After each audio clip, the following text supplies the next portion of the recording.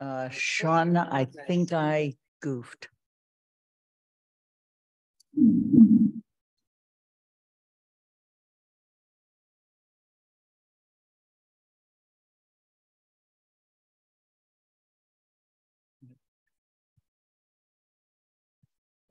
Down because otherwise. Good evening. It's really delightful to see all these people in the town room and particularly people who work for the town of Amherst and keep us safe. So we're having a swearing in tonight, and then we're going to go on to our formal meeting. So the good news is you don't have to listen to me call the meeting to order, read the riot act, and call on everybody's name.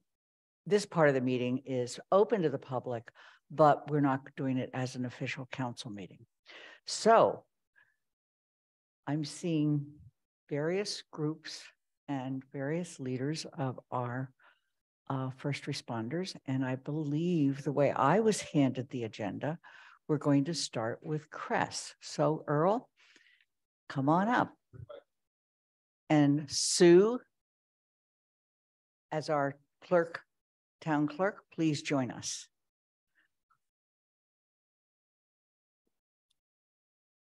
Okay. All right. Okay. All right. Um, so I'm trying to figure out which direction we should face. We should we go this way? All right. That way. Uh, so hello, I'm Earl Miller. Uh, what a wonderful privilege to be at a town council meeting. This is my first chance to do this. Um, I'm going to introduce Tia, but first I really want to introduce the entire department. Um, so today we have Paulo, Tim, Rome, Q, Brittany, Vanessa, Kevon, and Kat, who are not able to be with us today. Uh, what a privilege to stand on the shoulders of these fine folks we have in the room. Uh, CRESS is only going to be a success because of the police department and fire department. Anybody who thinks that there could be any space between us is wrong. And I want you guys to know that today.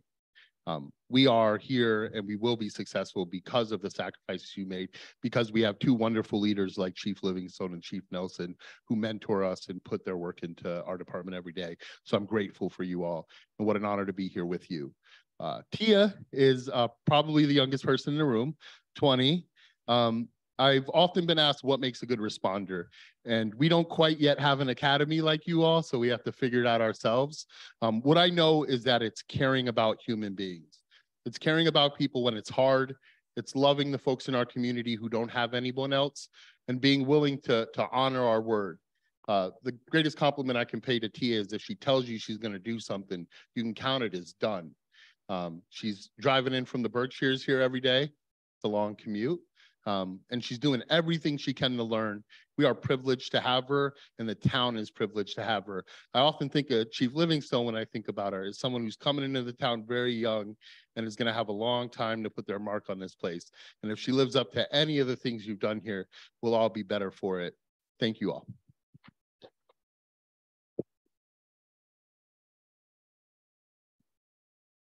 And Sue Audette, our clerk, town clerk, will now swear you in. Can you raise your right hand, please? Do you solemnly swear or affirm to faithfully and impartially perform the duties incumbent upon you as a CRESS employee? Congratulations.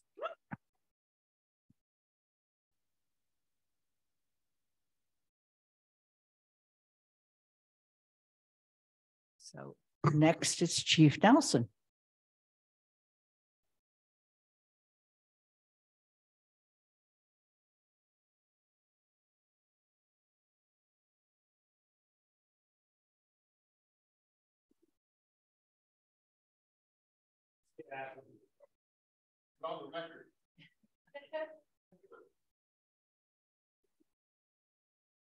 Just, to- ah, okay, there we go. I got it. Sit down. Anyway, uh, good evening. Hey, uh, first I'm- I want to talk, talk, talk about two, two folks that aren't, aren't here. One, uh, Audrey Bulger, uh, brand, brand, brand, brand new to us. Uh, she began with us as a stu- student fire- firefighter, called her college, well, you, uh, UMass, uh, and, uh, was, uh, joined, joined us and she found out that she kind of like, liked hanging, hanging out with, with us. So, uh, again, she's brand, brand, brand new. She's, she's, she's going to be great. Uh, we have our other, um, we have, have another me- me- medic, uh, Madeline Burke. who uh, she she had had had a point point point appointment tonight that she she she could, couldn't miss. But she's local local local girl, long long long long meadow, uh, new new meadow um, medic was work working in Pelham, Pelham and thought and got the uh, fire firebug. Uh, she rode with, with with us during during the train train training. She liked liked us. We like liked her. Kind of worked. Great. So and she's she's gonna be another another another another great great great great one for for the town and us. And we've got these three. anyway, first Cassandra Cody. She began with, with us as a stu student fire, firefighter, UMass grad. Uh, was kind of try, trying to figure out what what she wanted wanted to do with her life, and she kind of kind of found you know Amherst fire, fire, fire and uh, kind of hooked on with with with with with us, and she's do, doing great. Uh, she's in, med, in medic school school now, and she's very, very shy, but that's okay. but again, an, another great, great, great, great addition. And one of the things that that I, I like, I like, I like to brag about is we attract really good, good people here. We really, really do. I'm, I'm the luck, luckiest guy, guy, guy, guy around because I get to work work with all, all, all these folks every day. And we have uh, Stone Stone Curry, uh, the easy, the easy Eastern Mass guy. We won't hold that again, again against him the interesting thing, the thing is when he went to, went to med, med, medic school, one of his instructors was a former, former firefighter medic here. And he said, you know, you would do well to come, come out west, take the ride, ride with Amherst for, for, for, for a while. I think you, he, he said he thought, thought, thought, thought he might, might like, like it. He came, came out, found, found that, that it was a good, good fit we know he's going to be be a good good fit. So and, and we're glad glad glad glad to have uh, have him here. Uh, uh, Stone, of course, for those that, that are old enough to to remember, I guess he he was named named named for the ABC report reporter Stone Phil, Phil, Phillips. If folks folks folks are old enough to remember remember him, so that's a, a little fun fun fact. And then we have Alex. Alex Gesowitz. I got it right? I got it right? Close enough? Okay. Um, Alex comes comes from us comes us from upstate New New New York. Uh, went to went to Stones Stones Stones Stones Stony Brook. We won't hold that again again against them either. But came came down here from medic school.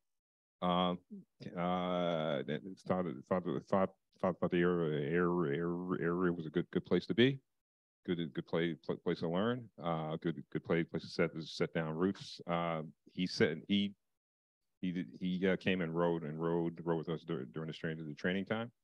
Uh, impressed impressed us as all as as as they all did. And you know, we we we decided decided to bring bring bring, bring him on board. Once you get get to know know him, you'll find that he's pretty kind of he's pretty shy pretty uh, kind of kind of kind of retired, retiring. Doesn't say say much much much at all. yeah, right. Uh, but anyway, but again, uh, we're lucky, lucky, lucky to have all, all, all five five of these folks. Uh, extreme, extreme, extremely so, and they're going to be a great, great addition to the department, department, and great for for the town, and even more, more, more so for the people in, in town. So, without ado, Sue, come on up. Come, please stand up and join us in front of Sue. Well, I don't know.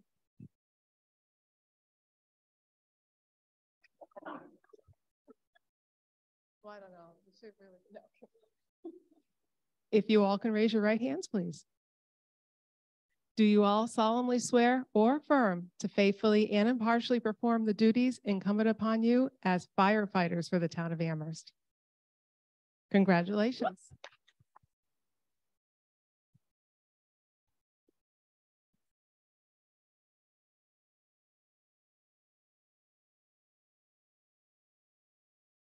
And Scott Livingstone, Chiefs Livingstone, come on in.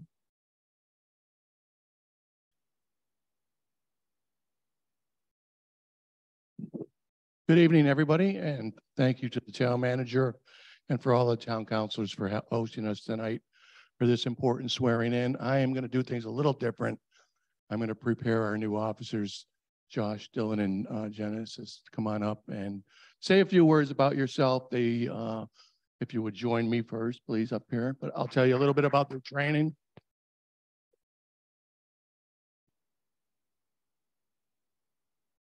I think uh, for those of you that participate in our recruitment process, you know, it's very rigorous. Our HR department takes very, uh, takes part of it. Town manager is part of the interviews and we have a lot of other uh, processes, but they completed their, their graduation on November twelfth, was it? Yes, twenty-two weeks of training and they have just completed phase one of their in-house training, which is fourteen more weeks. And then if everything goes as planned, they will be out on their own and um, much needed and, and certainly will, it will be well deserved. So I'm going to prepare you a little bit for your future testimony in court. So get rid of some of your shyness right away. So if you would just say a couple of words about uh, where you're from and, and where you, your interest and that sort of thing, and we'll move on. Hello, everyone. Um, I'm Genesis from Springfield. Um, it's a privilege to be here. Thank you for having me. And I look forward to working with everyone and serving the town of Amherst. And yeah,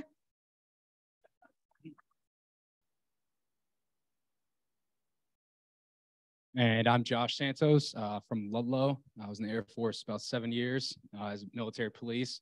So I couldn't have hoped for something better than this.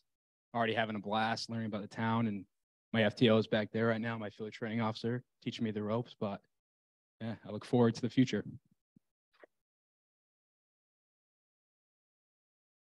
How are we doing, everybody? I'm Dylan Tucci. I'm 28. I'm also from upstate New York. Um, I want to thank the town manager, the police department for this opportunity. I really look forward to working with everybody in Amherst and for the people of Amherst. It's really an exciting opportunity that I can't wait to take full advantage of. Sue?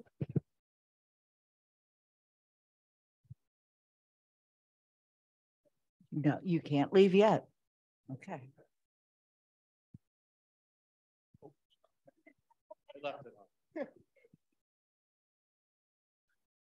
Hi again. Right. And if you could all please raise your right hand, please. Do you all solemnly swear or affirm to faithfully and impartially perform the duties incumbent upon you as police officers for the town of Amherst? Congratulations.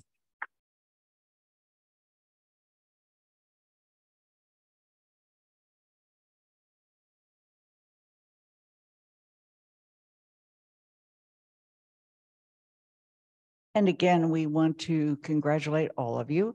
And Wait, wait, wait. we're going to just further have some informal time for counselors to say hello and No. so forth. And we will begin our One more thing. timeout.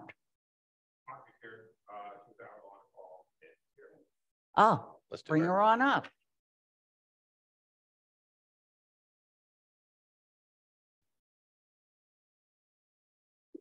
Say a few words about yourself.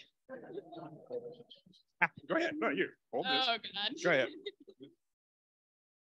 Thanks for coming, everyone. Really appreciate it. Thanks, Chief, um, for all your help. All right.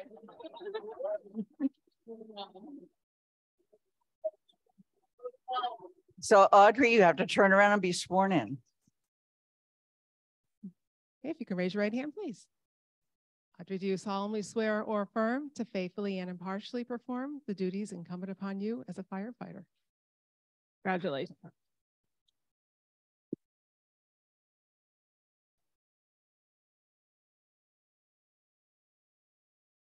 Maybe others have seen people sworn in as they come in out of the field, but it's the first time I've seen it.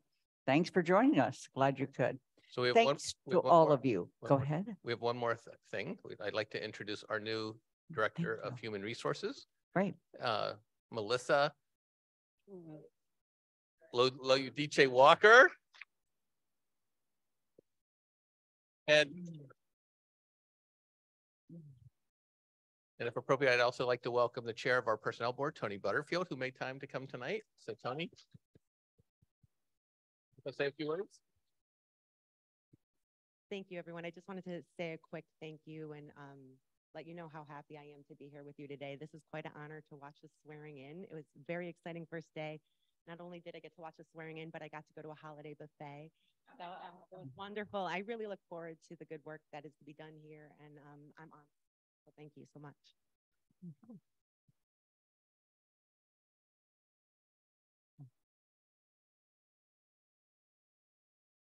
Anything else? Are you sure? No more surprises in the audience. Thank you all. But we're going to now spend a little time, talk with you, and we will begin our council meeting promptly at 5:30, where we do the state of the town tonight, which is in good shape. Go.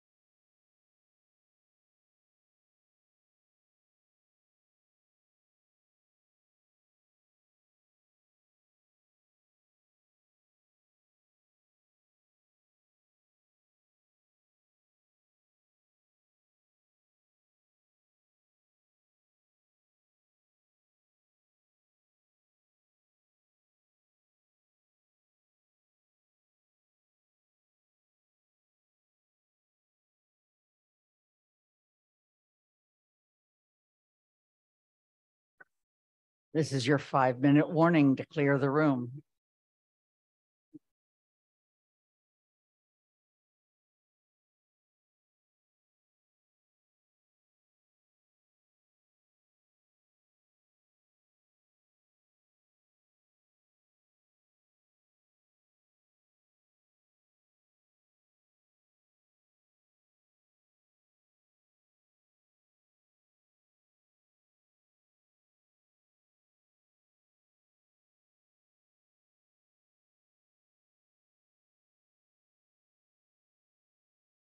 Oh,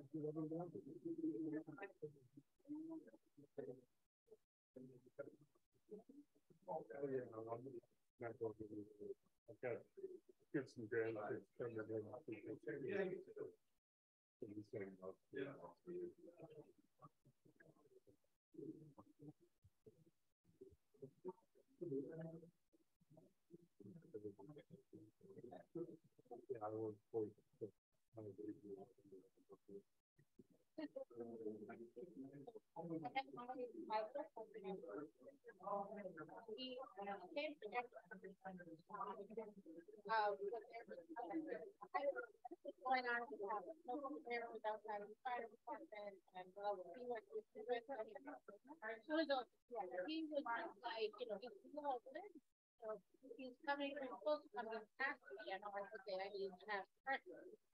And so I took your advice and. So Anna, are you ready? Are you already on? Okay. I don't, I don't see you. Yeah. There you are. Got it. So Pam Rooney's on, Anika's on, Whatever else. Mandi Jo's on, When they let him sit the fire, stuff, you pretty good, good. Andy Steinberg's on.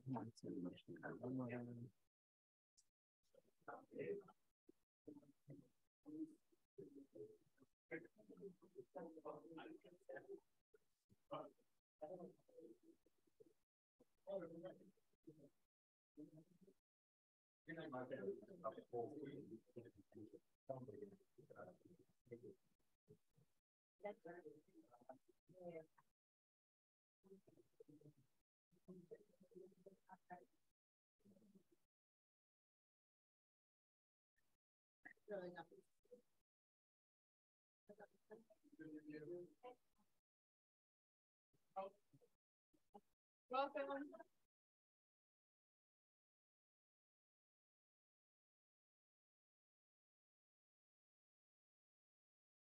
Okay, um, so Athena, let's remove the screen and get ready to, are we starting a new tape? Okay.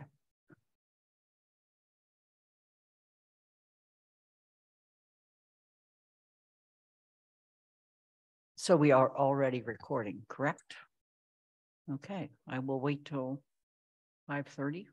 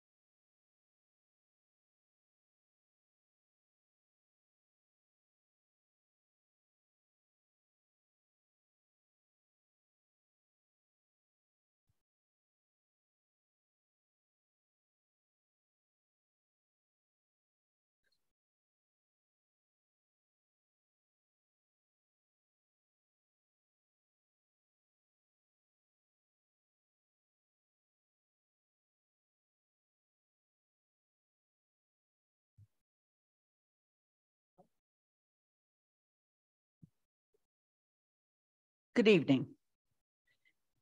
It is December 19th, 2022. This is a regular meeting of the Town Council and includes the State of the Town addresses.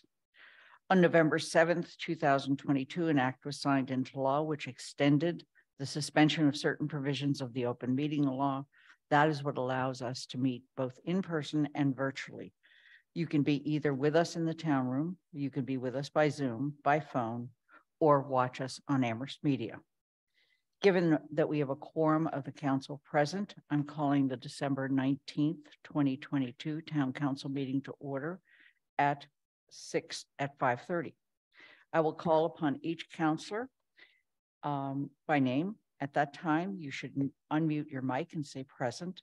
This will indicate that we can hear, you can hear us and we can hear you. Please remember to mute your mic when we complete. Uh, Shalini Bahl-Milne is present, is absent at this point. Uh, Pat DeAngelis. Present. Anna, Anika Lopes. No, I'm sorry, I skipped a whole line. Anna Devlin Gauthier. Present. Lynn Griesemer is present. Mandi Jo Hanneke. Present. Anika Lopes. Present. Michelle Miller. Present. Dorothy Pam. I, she's on her way and I'm sure she will be with us. Um, Pam Rooney. Present. Kathy Schoen. Here. Andy Steinberg. Present. Jennifer Taub. Present. Ellisha Walker. She's in the. Uh, should, please bring her in from the audience.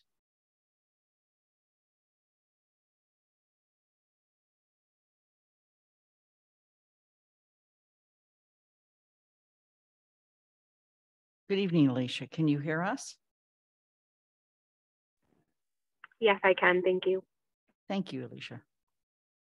Okay, and somebody keep an eye out for when Dorothy Pam joins us and also if Shalini joins us. She's not joining tonight. Okay, thank you. There is no chat room for this meeting. If you have technical issues, please let Athena and me know, and we will decide what to do with those difficulties. Uh, please also, when you want to make a comment or ask a question, use the raise, Dorothy's in the audience now. use the raise hand function. Please bring Dorothy in.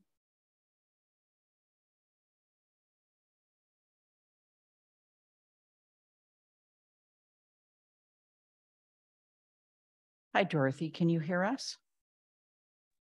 Yes, I can. Thank you. Thank you. And thanks for being with us earlier. Uh, you're with us also now, but in a different way. Um, all right, so there are twelve counselors present tonight, and we are going to proceed with the announcements.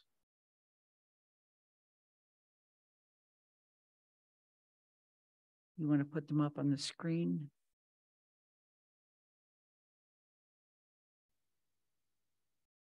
This is our last council meeting of the year. The next time we meet will be January 9th at six thirty. Meantime, our committees are continuing to meet and you can see them up on the screen. I want to point out, because this has just been decided earlier, that the GOL, or Governance, Organization and Legislation Committee on January fourth, two thousand twenty-three, which meets at nine AM, will be a committee of the whole.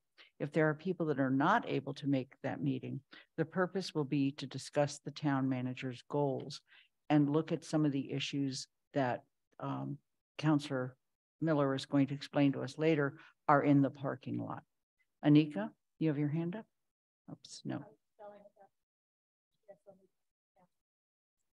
Thank you. The TSO meeting for December twenty-second has been canceled. In addition to that, we want to call attention to the fact that there will be community forums about the proposed new Amherst Elementary School. Those community forums will be on Wednesday, January twenty-fifth at twenty twenty-three uh, at eight thirty AM and Thursday, January twenty-sixth at six thirty PM. And we will continue to make sure the information about those are broadly um, sent out. In addition to that, several counselors have included information about the school at their district meeting, but may choose to do so again in January, February, and March. with that, we're going to actually go straight to the um, State of the Town address. And there's actually five parts to this evening, and we'll explain that in just a moment.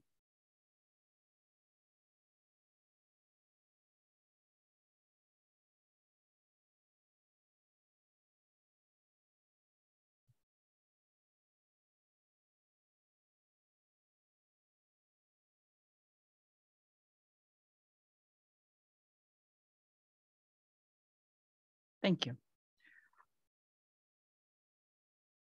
You can go to the next slide, please.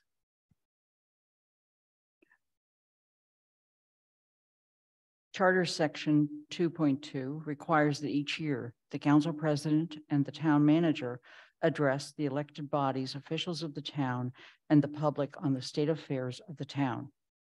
Tonight, we are joined by Jones Library Director Sharon Sharry, who is here on behalf of the trustees.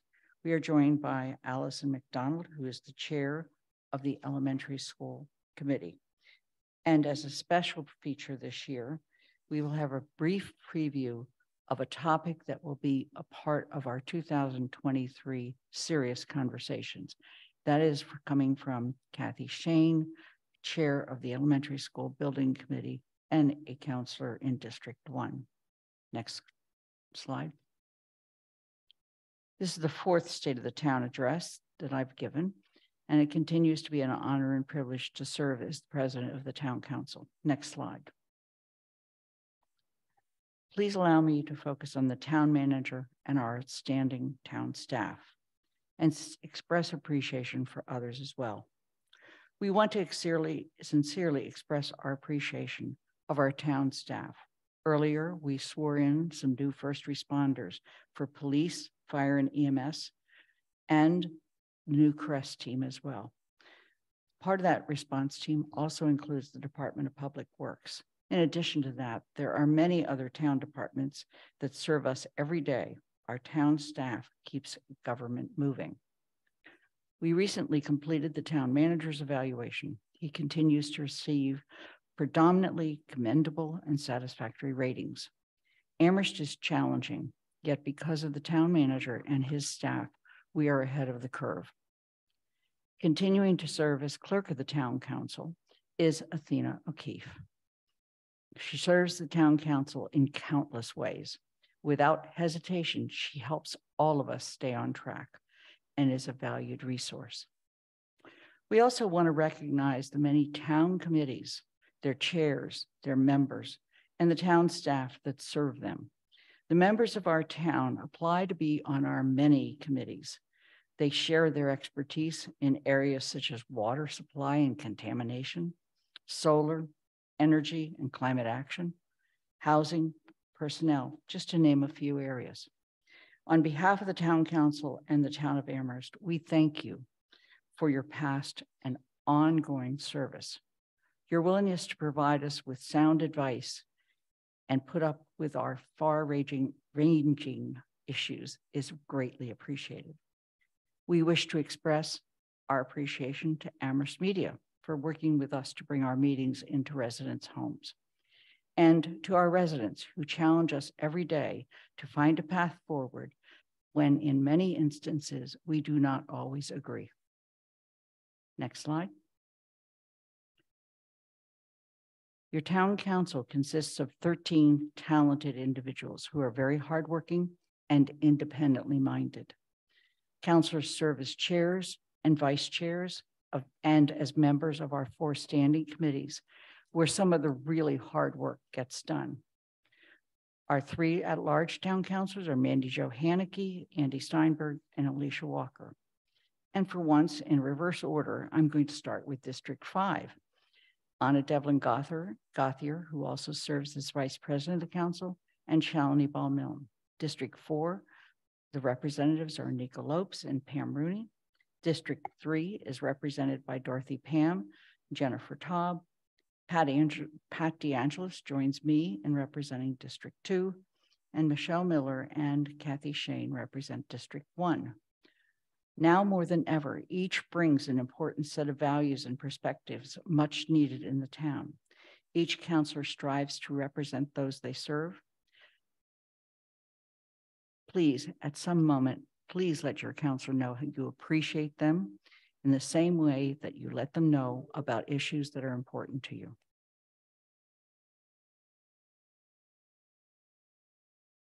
Next slide. Throughout our four years, we actually have continued to fulfill the requirements of the charter. It's our guiding, it's our guidebook. Uh, and we continue to make, make notes. In fact, one of the notes you'll find in the charter is that every year ending in four, we actually do a review of the charter. That's coming up in 2024.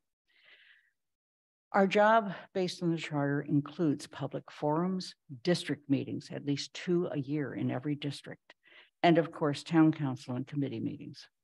Councilors work actively as the four members of the standing committees, the Joint Capital Planning Committee, and we have added to that list the Elementary School Building Committee and the Jones Library Building Committee. Individual councilors are also liaisons to selected town committees and available to all residents. There's also, next slide, please. There's also charter requirements, and this is just a reminder of what we have accomplished over these last several years. First of all was the approval of the master plan as recommended by the planning board. We file legislation allowing us, we have filed legislation allowing us to implement ranked choice voting. And I've been informed by Representative Domb that we do not have to refile or revote that legislation. It will automatically be refiled. We receive reports, we received a report from the Participatory Budgeting Commission and actually have found other ways for residents to make budget requests through CPA, resident capital, capital requests, and speaking out at public forums and public comment. And we have did develop and adopted a redistricting plan that was developed by our very able districting advisory committee. New district lines were reassigned and we used them in just this past fall's election. Some of you may not have vote, noticed because you did early voting at town hall or you voted by mail. But just so you know, you may want to check where you actually have to show up for the election um, if you want to show up in person. The, the new district lines will apply to the spring 2023 elementary school debt exclusion vote. And this fall in 2023, you will elect town councilors, school committee members, and Jones Library. And the town councilors will be by 10 of them by the districts they live in. Next slide. Counselors are regularly in contact with, with residents through email, phone, Facebook, newsletters, meetings, all kinds of places. We regularly read proclamations at public events. We sponsor support and support legislation, and we attend meetings of other organizations. Next slide. Our work is guided by the charter, our rules of procedure, our standing committees as they discuss items. And we, in fact, in our very beginning years, did create the Board of License Commissioners, but can and continue to appoint people to the Planning Board and Zoning Board of Appeals. Next slide. And one of the things we do every year when we have an election is make sure that we ensure your voting rights. Next slide. Our accomplishments over the four years are numerous, but I will focus on the past year. These are pre presented in categories identical to the town manager's policy goals because we can only accomplish these goals, which are our priorities, if we work together. First is climate action. Long ago, it seems like at least four years ago, we did create the Energy and Climate Action Committee and they put together an outstanding climate action set of goals and also brought to us the CARP, Climate Action Goals and Climate Action Adaptation and Resilience Plan.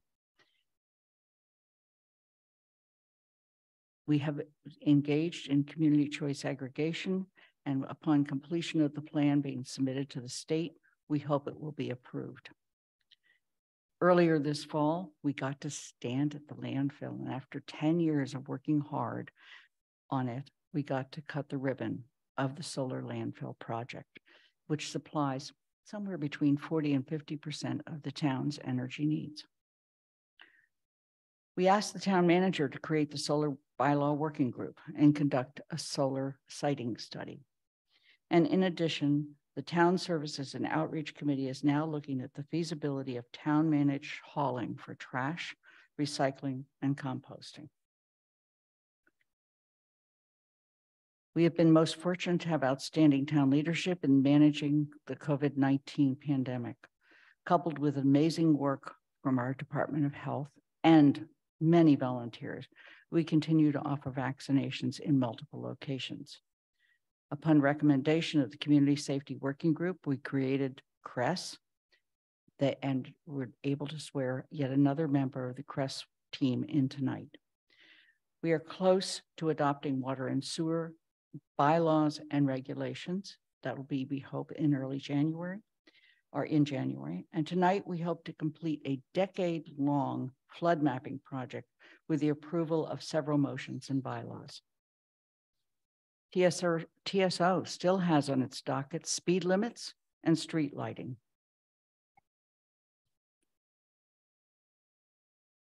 Recovering from the pandemic continues to take significant efforts and determination, including zoning bylaws and use of the public way. Next slide. This includes the town's partnership with the Bidden Chamber and our human service nonprofits, such as Family Outreach, Survival Center, and Craig's Doors. We've invested in recreation and our public ways and done that by increasing their use, renovation, and additions. Next slide. We have passed several zoning laws, bylaws, and general bylaws in support of economic vitality and overall community welfare, including taking what was learned through temporary bylaw 14 and amending existing bylaws accordingly. That we hope will also be approved tonight. Other bylaws address housing, parking, surveillance technology, and historic preservation. Next slide.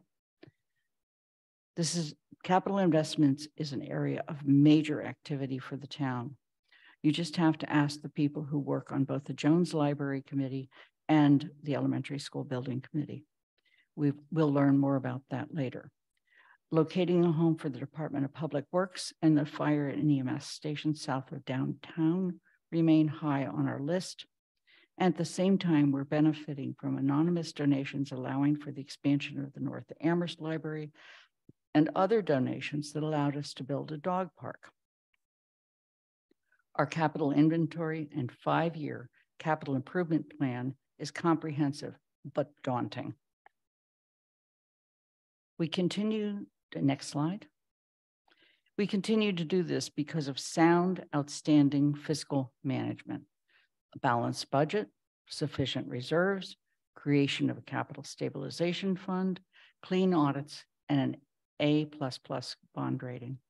None of this should be taken lightly or assumed to be normal. With our outstanding fiscal staff and town management, we have worked hard to get there. Next slide. The work of the town council regarding housing is guided by our comprehensive housing policy that came from our CRC committee with long hours of work. In the area of affordable housing, we continue to work on 132 Northampton Road. As you bump along the bumpy parts of Route 9, you can see the three-story structure.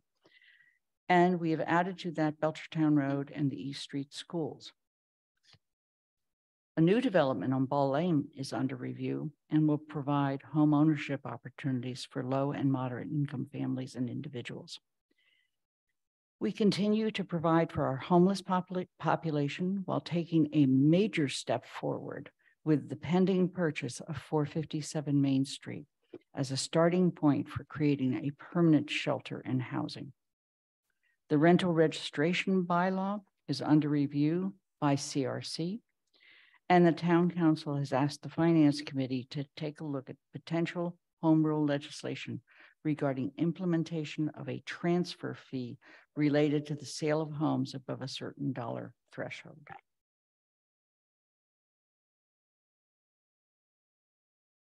Um, next slide. Racial equity and social justice is an area of significant strides, With many more miles to travel, we have approved a new department for diversity, equity, inclusion, and hired an outstanding director.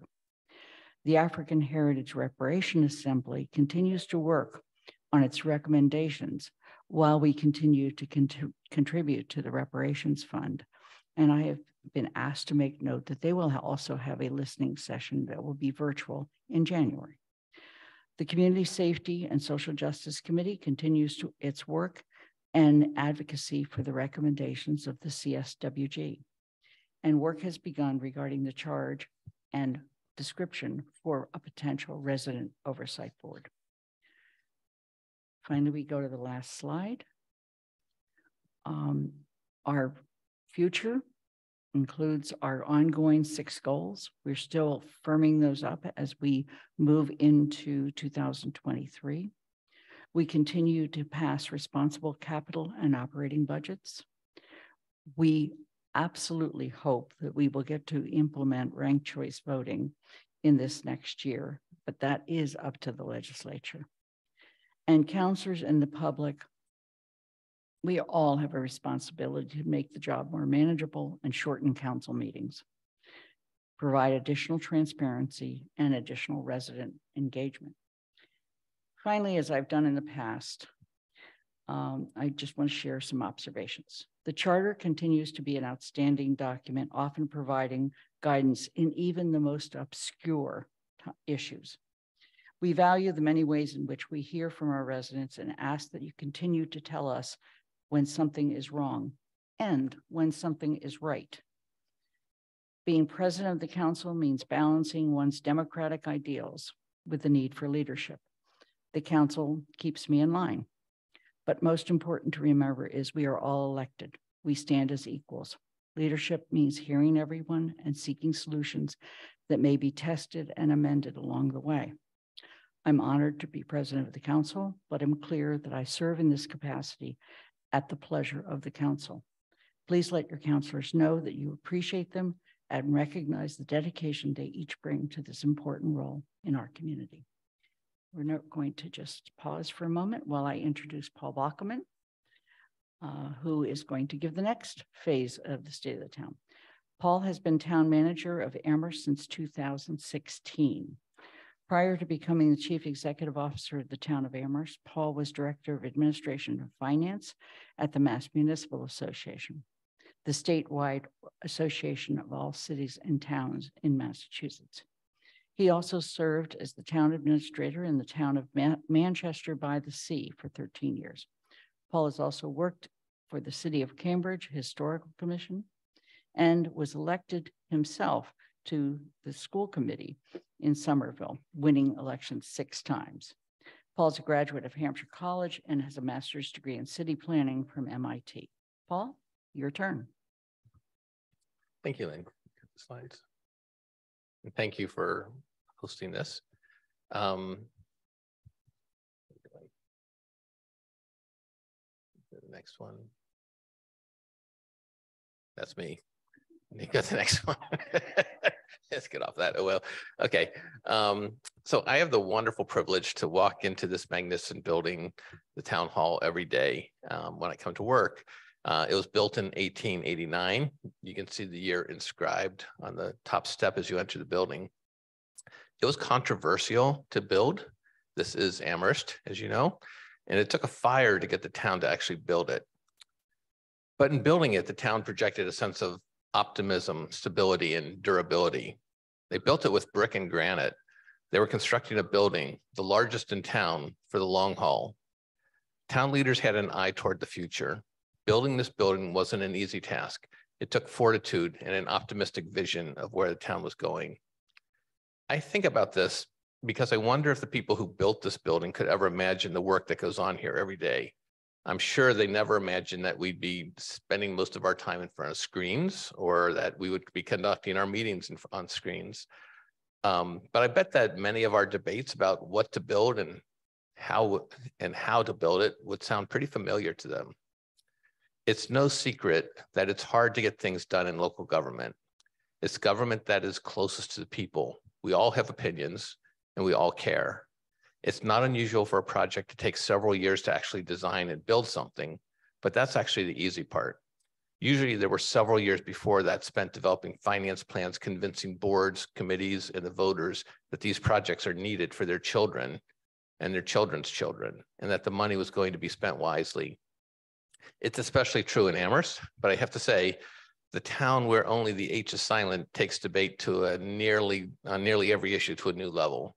We see it play out in the town council meetings weekly, it seems. Through the course of these debates, I strive to be positive. I tell myself that the debate is part of the process that we have to go through to get to a better place to actually get things done. But it can be frustrating at times. I know you all feel this too, and I know the public feels it as well. One of our challenges is how to maintain the kind of optimism it took to build this building and to retain the fortitude and confidence it takes to move the community forward, even in the face of criticism. So I feel like we've missed a couple slides, but maybe not.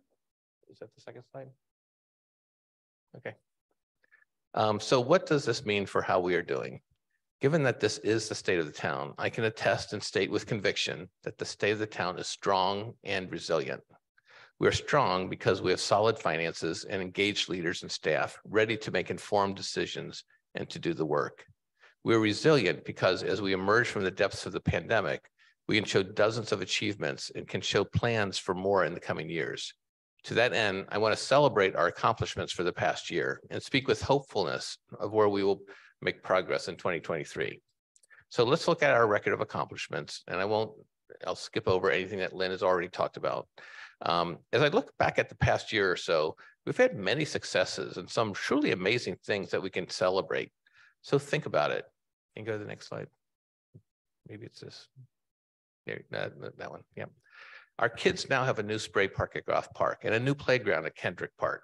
The town now owns 150 acres of pristine land, the former Hickory Ridge Golf Course, purchased for just $520,000 that preserves over a mile of sensitive river frontage and sets aside land to generate 6.5 megawatts of electricity using solar panels. To the east on Belchertown Road, we powered up the new solar project on the town's closed landfill, generating another four megawatts of clean energy, all of it going to meet the needs of our municipal buildings. And a side benefit to this project was that dedicated residents and staff were able to find space and, and funds to open our first dog park on another part of the closed landfill. And due to the generosity of a private donor, we were making progress on a sweet addition to our iconic North Amherst Library, which coincidentally was built just a few years after this town hall was built. These are all tangible things we can look at and appreciate. We did them together as a community. While some have had a smoother path, others have taken close to a decade to become a reality. All have required extensive review by committees and thousands of hours of staff time to bring them to completion. Next slide, maybe. Yes. Um, in this past year, we created two new departments. Now, creating new departments is not something that gets done very often. There isn't a playbook for how to do it. It's been decades, in fact. I think the last time a public safety department was created, we were figuring out how many teams of horses should pull a fire apparatus. But now, responding to one of the town council's main goals, we have Department of Diversity, Equity, and Inclusion, which we call DEI, led by Director Pamela Nolan Ryan. Pamela Ryan Nolan, sorry, and a Department of, I just call her Pamela, uh, and a Department of Community Responders for Equity, Safety, and Service, led by Director Miller Earl, uh, Earl Miller. I'm so pleased that we have the right leaders in place to create these new departments. True to Amherst's independent spirit, CRESS is using a model that has only been tried by a handful of small communities nationally. Police Chief Livingstone and Fire Chief Nelson have been extraordinary in collaborating to support the development of this department but every day brings a new challenge. I talked with Earl this morning. We had something new to talk about. I ask you and every member of the public to keep in mind, change in local government takes time. Expect years of work to fully realize the goals of our DEI and CRESS departments, but the work will be done. In, in addition, we're making tangible progress on other major goals set by the town council. Next slide. We're working relentlessly to get a new elementary school for our children, which will create operational savings by combining two schools into one. This spring, the voters will be asked to support a new building by voting to exclude its debt from the limits of Proposition two and a half. It is vital for the town's future that this debt exclusion pass. Tonight, you'll get a brief glimpse of this new building that I hope you'll be as excited as we are for what the future holds. Plans for the Jones Library renovations are coming into focus. That building needs a serious injection of capital, most of which has been secured by a grant or will be raised privately to become a true centerpiece of our community in the downtown business district. It's a bold statement, much like the town hall was in 1889, that will pay dividends well into the future. We have continued, continued to make real progress on securing new facilities for our firefighters and public works employees. The current central fire station, station and DPW facility must be addressed. Expect to see solid steps on these two projects early in 2023. So next slide. I'm going to zip through some of our other accomplishments. I'm not going to read all these words. Uh, the town is using, as Lynn said, the town is using our CARP, their Climate Action Adaptation Resiliency Plan as our guide, um, in, including $500,000 in ARPA funds to, to move some of these um, initiatives forward. Next slide.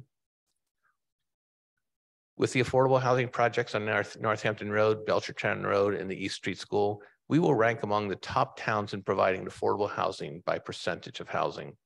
And we are preparing to purchase the former site of the VFW on Main Street as a location for a permanent year-round homeless shelter.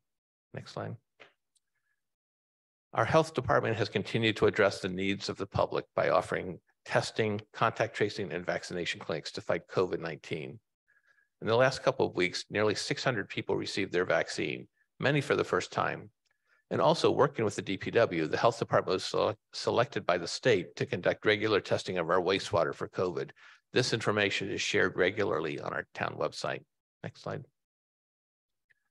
The shakeout from the pandemic has certainly taken a toll on our local businesses, but ac actually economic activity in town is pretty good, especially when you compare it to other communities. The town has been awarded hundreds of thousands of dollars in grants for downtown improvements, and there's more to come. I want to recognize the energy and tireless uh, creativity of the leaders of the Business Improvement District and the Chamber. Working with town planning staff, their vision and energy have truly changed the game in Amherst. We all recognize the university and colleges are part of our community's cultural richness and vitality.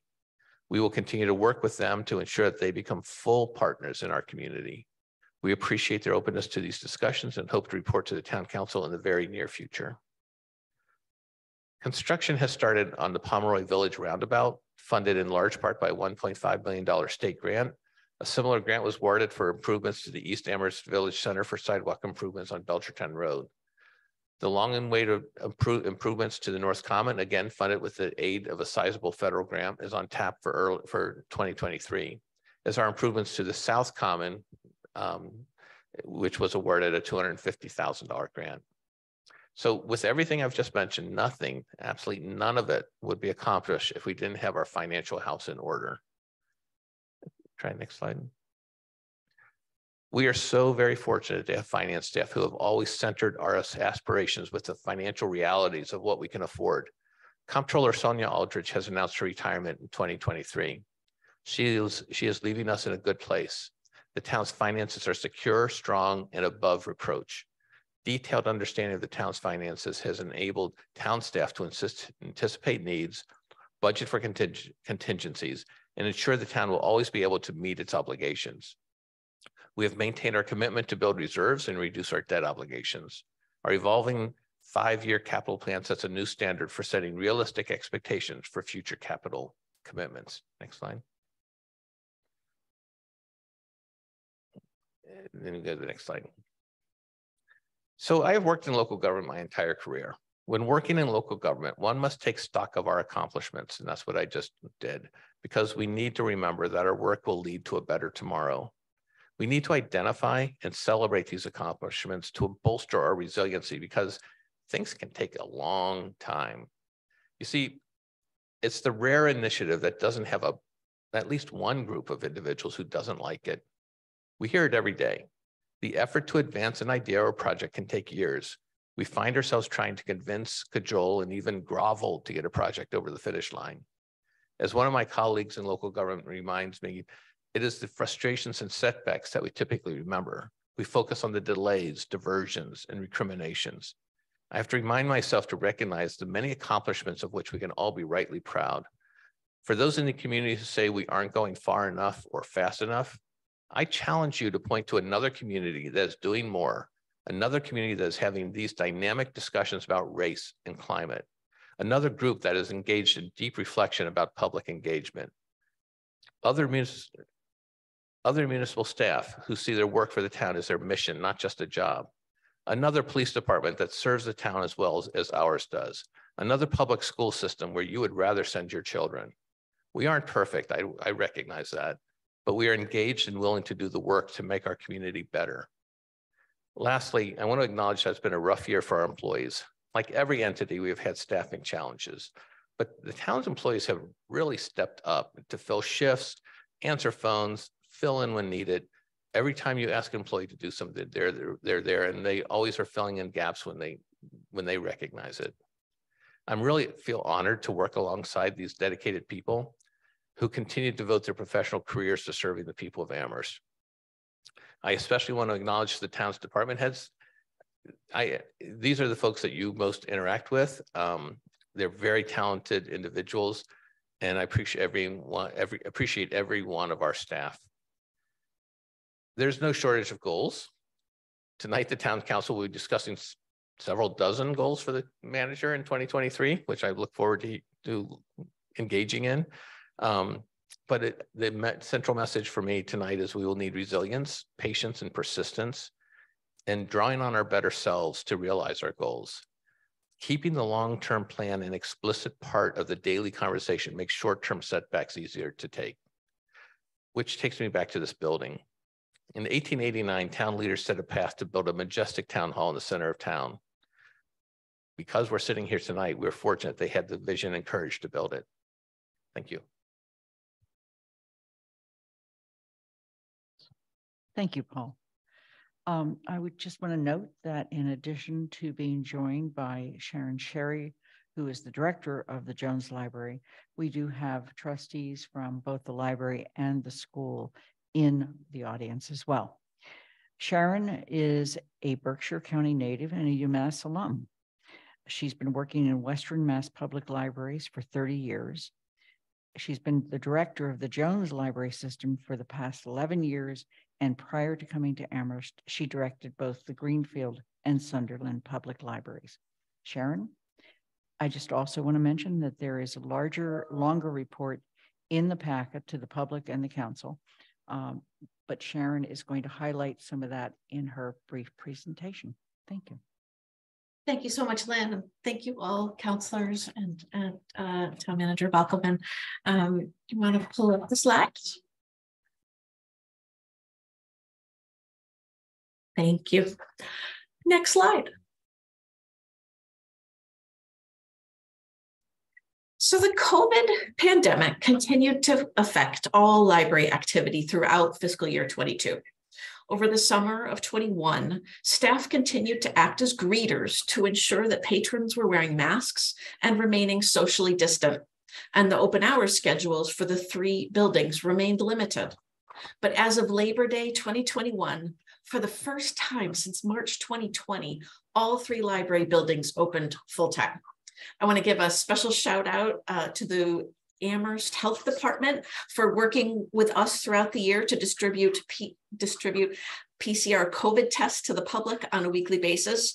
Uh, the public demand for those kits uh, was quite extraordinary during that time and to the Amherst Fire Department for continuing to provide library staff with KN95 masks even after the mask mandate was lifted in March. The library system uh, has yet to return to pre-COVID operations. People are still quite wary of COVID. So during FY22, staff continued pivoting with many of our services and programs being made available either virtually or outside. The Children's Department hosted 99 virtual programs in FY22, including the distribution over eight, of over 1,800 take and make activity crafts. The Reference Department began offering library patrons up to 10 pages of free printing or copying each day. We also continued our free print from home service, which patrons used over 300 times during FY22. Striving to make the branches more action-oriented spaces, the Munson Memorial and the North Amherst Libraries also provided take and make activity crafts. On a beautiful day in October of 21, the ESL department hosted a naturalization oath ceremony outside under the tent. The teens released a collaborative Tales and Tales, that's T A I L S and T A L E S, zine, which included submissions from kids and teens and adults throughout, from, throughout the community continuing our collaboration begun the previous year with the Amherst Survival Center. Two virtual programs were bought to the Survival Center community as well as to the wider Amherst community.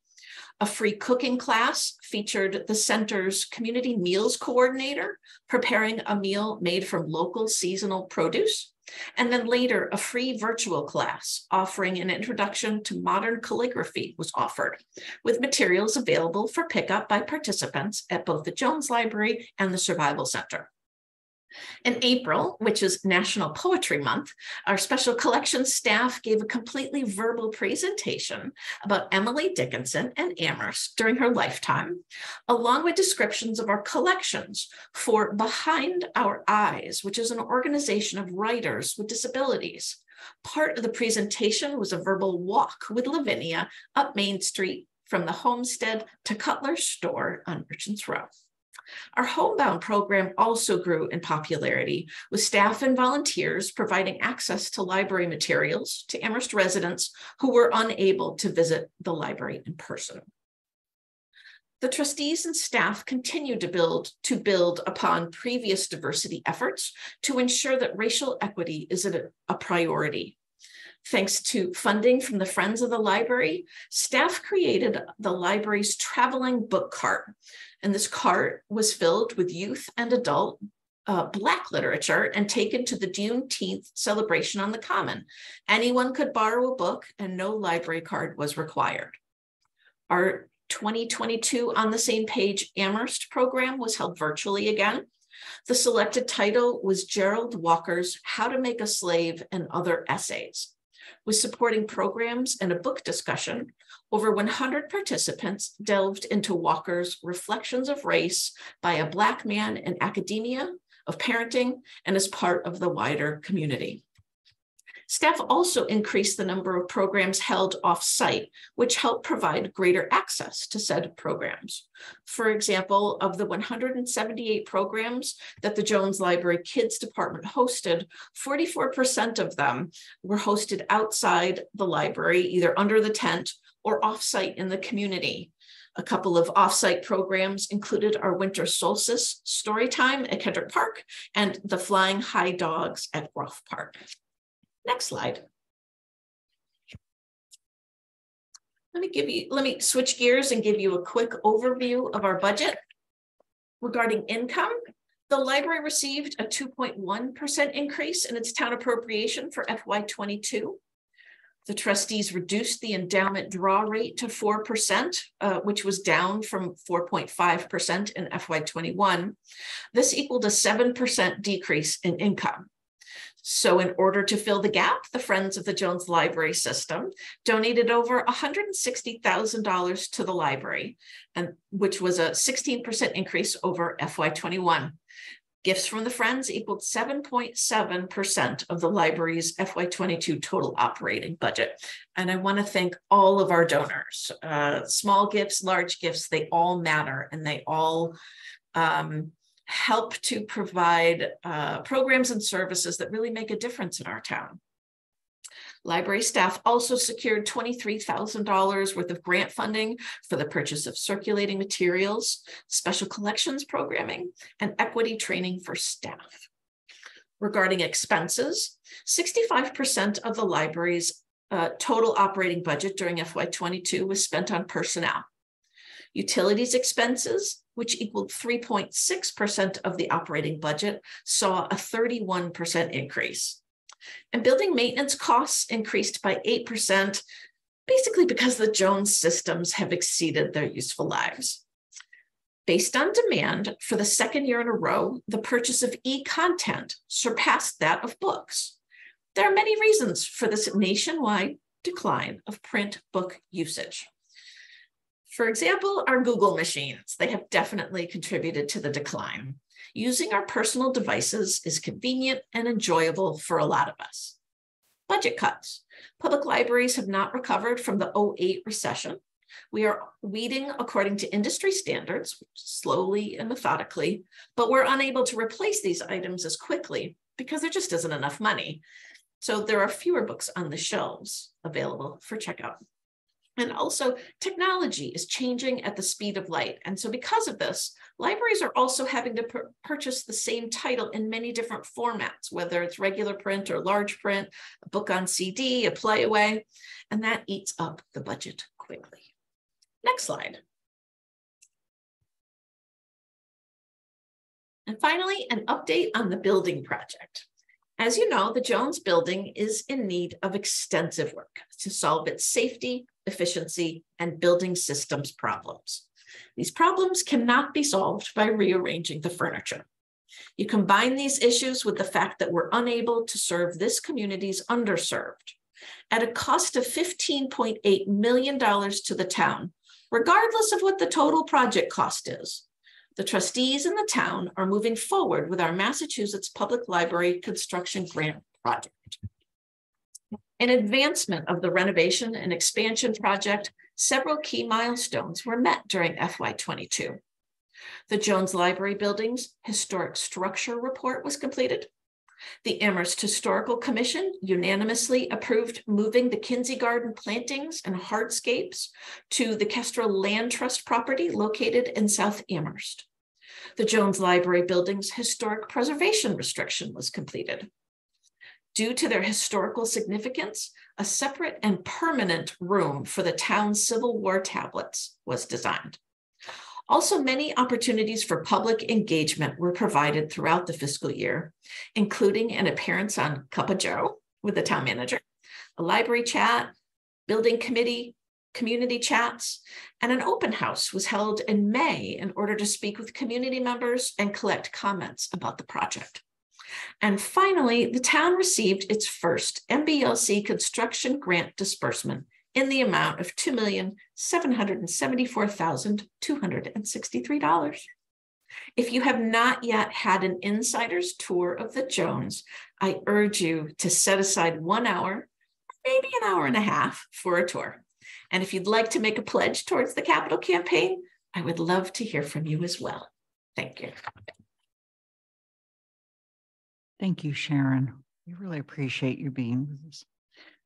Um, we're going to go on to the school committee, and we're joined tonight by Allison McDonald, who is chair of the school committee. Uh, Allison and her family moved to Amherst 20 years ago, choosing Amherst for the strong reputation of its public schools. She's a communications and marketing professional, has worked locally and now virtually. Over the years, she has volunteered with the PGO at Fort River and helped out with her son's youth sports events. After serving on the district's enrollment working group in 2017, Allison was elected to the school committee in 2018. She is now the chair of that school committee and is the past chair of the regional school committee. Allison, we'll put your slides up and you may want to go ahead and mention that Doreen Cunningham has joined us this evening uh, and Mike Morris is unable to be with us. Thank you. Um, yes, uh, I see, I can see Doreen's face on the screen. Um, so uh, thank you for that introduction. Um, I'm Allison McDonald um, and have been um, with the school committee for almost five years now. Um, and uh, Doreen Cunningham is here uh, with us. She's our assistant superintendent for diversity, equity, and HR. Um, and so I'm happy that she's able to join us tonight. Um, I'm not sure I see my colleagues in attendance, but I'm sure they're watching from home. There are many, many, many other individuals who work very hard every day in support of our students and our schools who are not here. Um, but we are both fortunate and grateful for their efforts and um, dedication. So next slide. I, I, I show this slide every year, but I think it's super important because I think you know we, it's easy to um, to to forget what our what our overarching mission and our guiding star is um, for our schools. It is obviously our students. We all know that. Um, but I think um, it's helpful to just ground ourselves every year in this. Um, our mission is to provide all of our students with a high quality education to enable them to be contributing members of a multi-ethnic, multicultural, pluralistic society. And we seek to create an environment in our schools that achieves equity for all students and ensures that each student is a successful learner, is fully respected, and learns to respect others. Next slide. I'm going to talk both about our elementary schools and um, as represent as an Amherst representative on the regional school committee, uh, talk a little bit about our regional schools because our children in, in Amherst attend both of those school systems. Um, we have three elementary schools um, uh, that serve nearly a thousand students in grades kindergarten through sixth grade. An additional 60 students are served in our early childhood center at, at Crocker Farm. Our three schools, Wildwood, Fort River, and Crocker Farm, are roughly similar in size and demographics, with a student population that's highly diverse. More than half of our students are um, Black, Indigenous, or other people of color, and more than one in four speak a language that's a first language that is not English. Additionally, more than half of our students are high needs as defined by the State Department of Elementary and Secondary Education, or DESE, 37% are low income, and more than one in five have disabilities. A budget of 28.8 million in spending this year, including funding from federal, state, and other grants, enables us to deliver on our mission to support the needs and learning journey of every one of our students. Next. We enjoy a strong statewide reputation for our public schools, um, and it's a legacy that our community values and prioritizes. Our elementary school district consistently meets state progress and accountability goals, though persistent gaps remain among high needs, high needs students and other groups. To address these persistent gaps, particularly in math, we implemented a new math curriculum this year after an extensive review and pilot last year this curriculum. Um, there's more at the end of these slides. There's links to more, a lot more information, including a presentation about the selection process and a little bit more about this math curriculum. Um, our Common dual language program is based in the Fort River School and it's now in its fourth year. Um, it now encompasses uh, kindergarten through third grade. Each year we add, add, a, add, add a grade um, at the top. The education program in our schools is enhanced through art, music, both classroom and instrumental music uh, instruction, PE, library and media studies, and technology education. That is, um, each of these is provided in weekly specials classes as well as integrated into grade level unit studies. We also have an innovative school garden program that continues and it's integrated into our science curriculum at the elementary schools.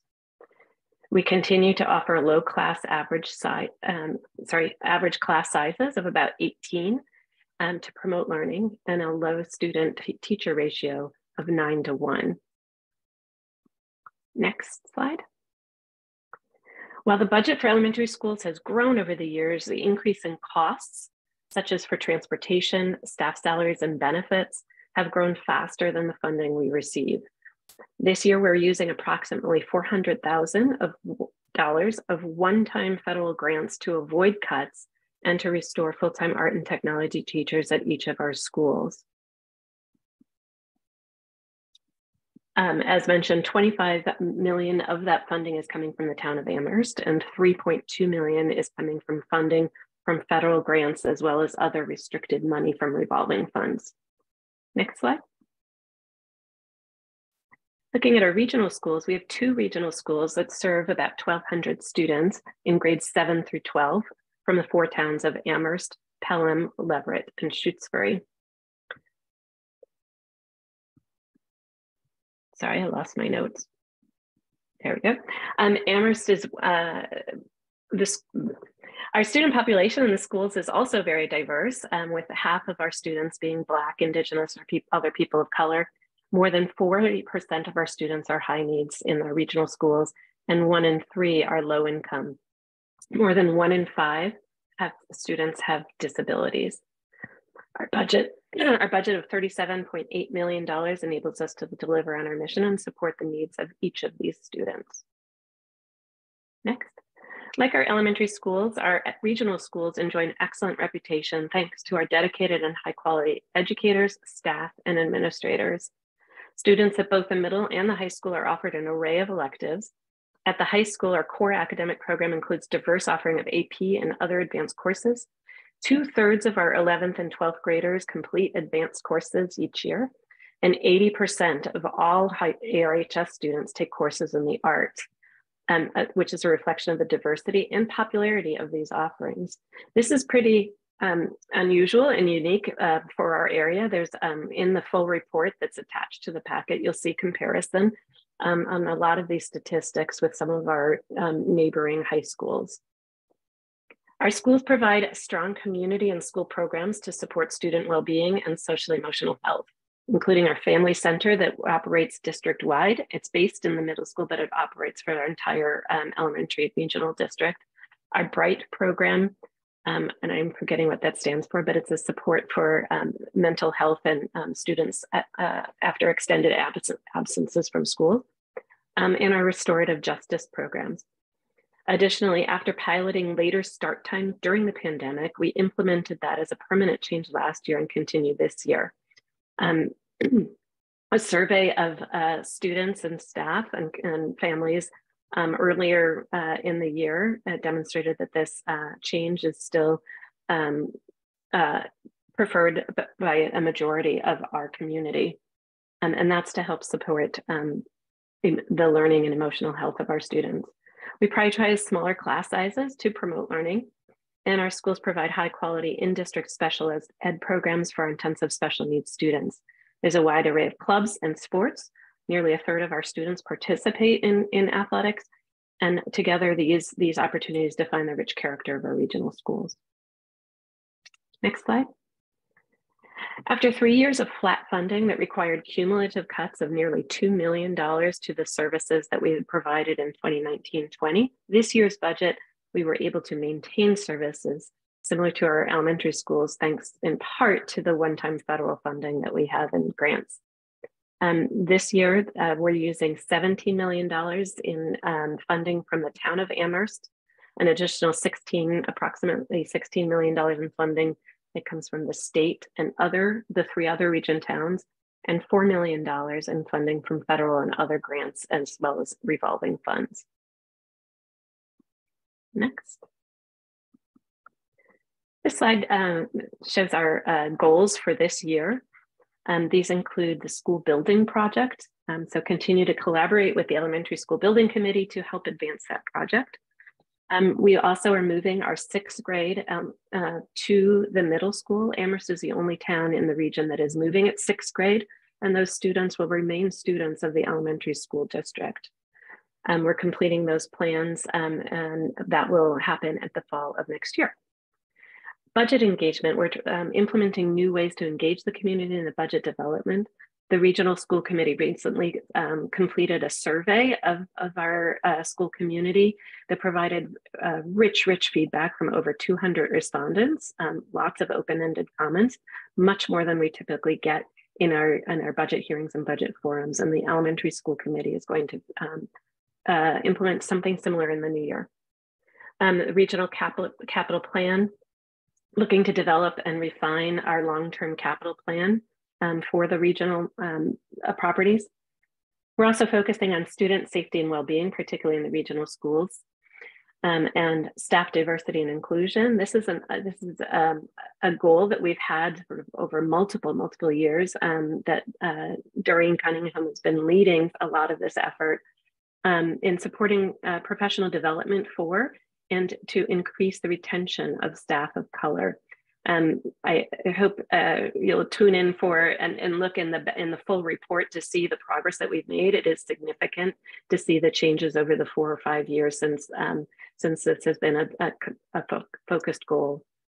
Um, in terms of curriculum instruction, we're going to continue to implement, work on implementation of the new elementary math curriculum and focus on monitoring student achievement data to make sure it's achieving, um, that it's having the impact that we had intended. Um, and in the region, we're working on school improvement plans to, uh, to update those school improvement plans. Next. This slide um, has links to a lot more information. Um, there's also in the packet, there's many more slides that have um, a lot more information about the schools. Um, if you want to look at more information about the plan for the sixth grade move to the middle school, the elementary math curriculum, the community feedback on the start time change, as well as community feedback on the regional schools budget. Um, if you have questions, please, um, not tonight, um, but use, uh, you can email the school committee at amherstschoolcommittee at arps.org um, at any time after this. Um, Dr. Morris's email is there. Um, and Doreen Cunningham's email is also on the on the website. And I think that's it. Thank you. Thank you, Allison. Um, we're going to move on to a special feature of tonight where Kathy Schoen, who is chair of the Elementary School Building Committee, uh, she also serves on other committees for the council uh, and has served on the council since its since its beginning four years ago. She and her family have lived in Amherst for 40 years. Trained as an economist with a focus on public finance before retiring, Kathy led policy and research efforts to reform the U.S. healthcare. She also served at, for a decade as the research and policy director for a national labor union representing low wage, health, and other service workers. Kathy, please proceed. Thank you. Thank you, Lynn. I'm going to uh, wait to get my slides up. I'm both delighted and honored to have this opportunity to share the emerging design of the new elementary school. And I'm doing this on behalf of our fabulous school building committee, which has um, at least one other counselor, Ellisha Walker, on it and multiple school members. All the pictures that I'm showing tonight come from presentations to the committee by our creative, responsible design team, DiNisco Design. Next slide.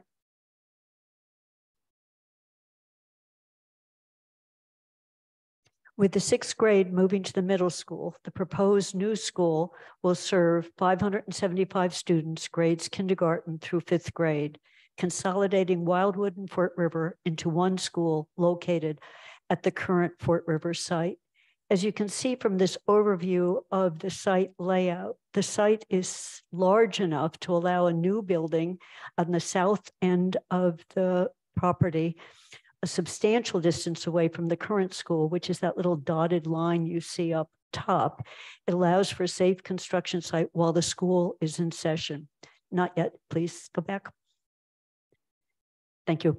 Um, the outdoor site plan for the school includes locations for play and outdoor learning, including areas for student projects and rain gardens for water runoffs.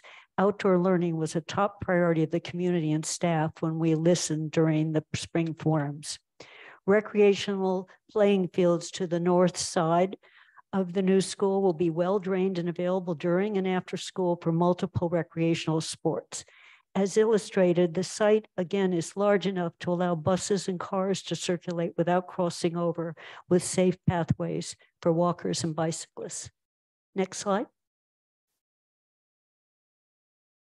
The new three-fourths floor school will have classroom and spaces that meet educational needs with a flexible design and areas for small group activities.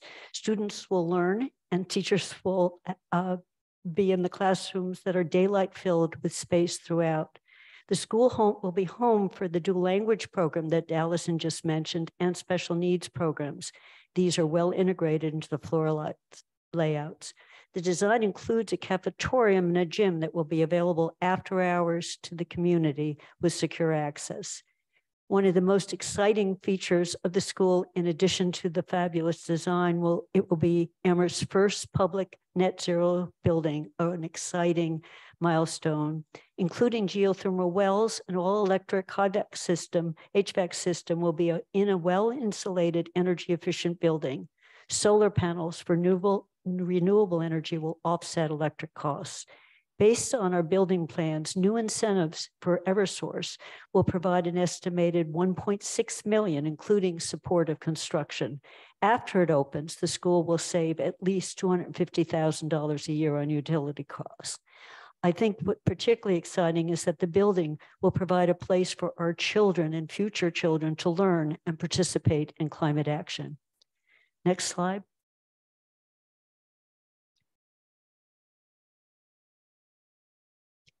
As this video shows you, the design team has been able to bring the building to life for us. As we approach the entrance, you can see it's clearly marked. There's a place for the name of the school, and we've actually thought we might want to have a naming contest if we decide to name it differently.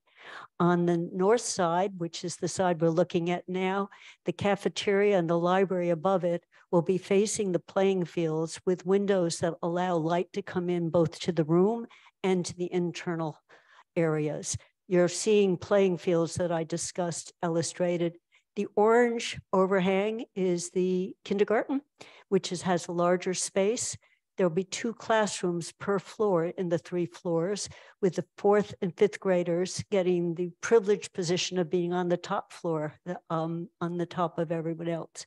As we rotate around to the other side of the building, which is the south side, there's space for children's science projects and children's gardens.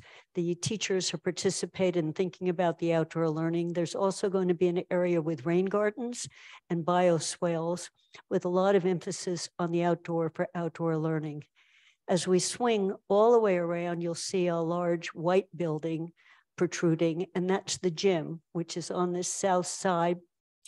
And it's designed in a way that when the buses come and loop into the building in the morning, they'll be able to, students will be able to go directly into the building or or with van van drop-offs. And I'm, you know, I can't speed up the video because I'm not in control of it. But as you come around, what you're going to see is the slope roofs that you saw when you first were looking at the school are set up to be able to have the PV panels on top of the roof. And there will also be PV panels over the, um, the parking area. So this net zero design is both very energy efficient and has led to a design that allows light to come into the building. Next slide.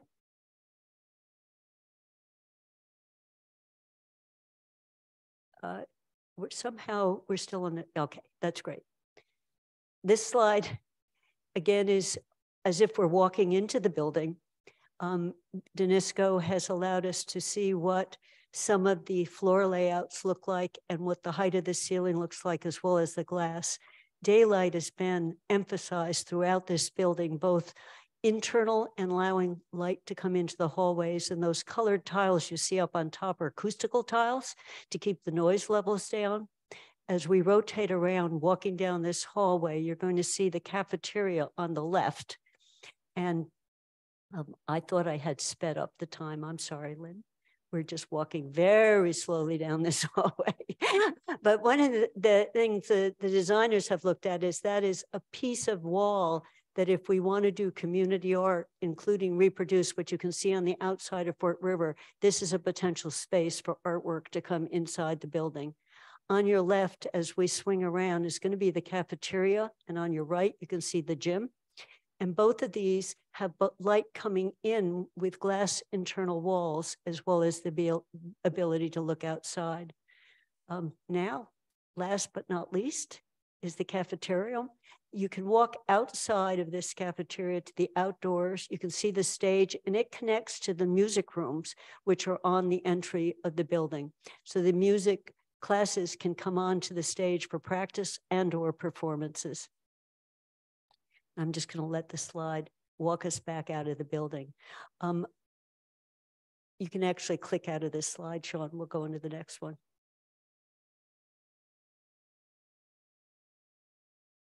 On this one, I took, whoops, you can back up to, on this one, I took snapshots. We have videos of the multiple internal spaces to give you a look at what the classrooms look like.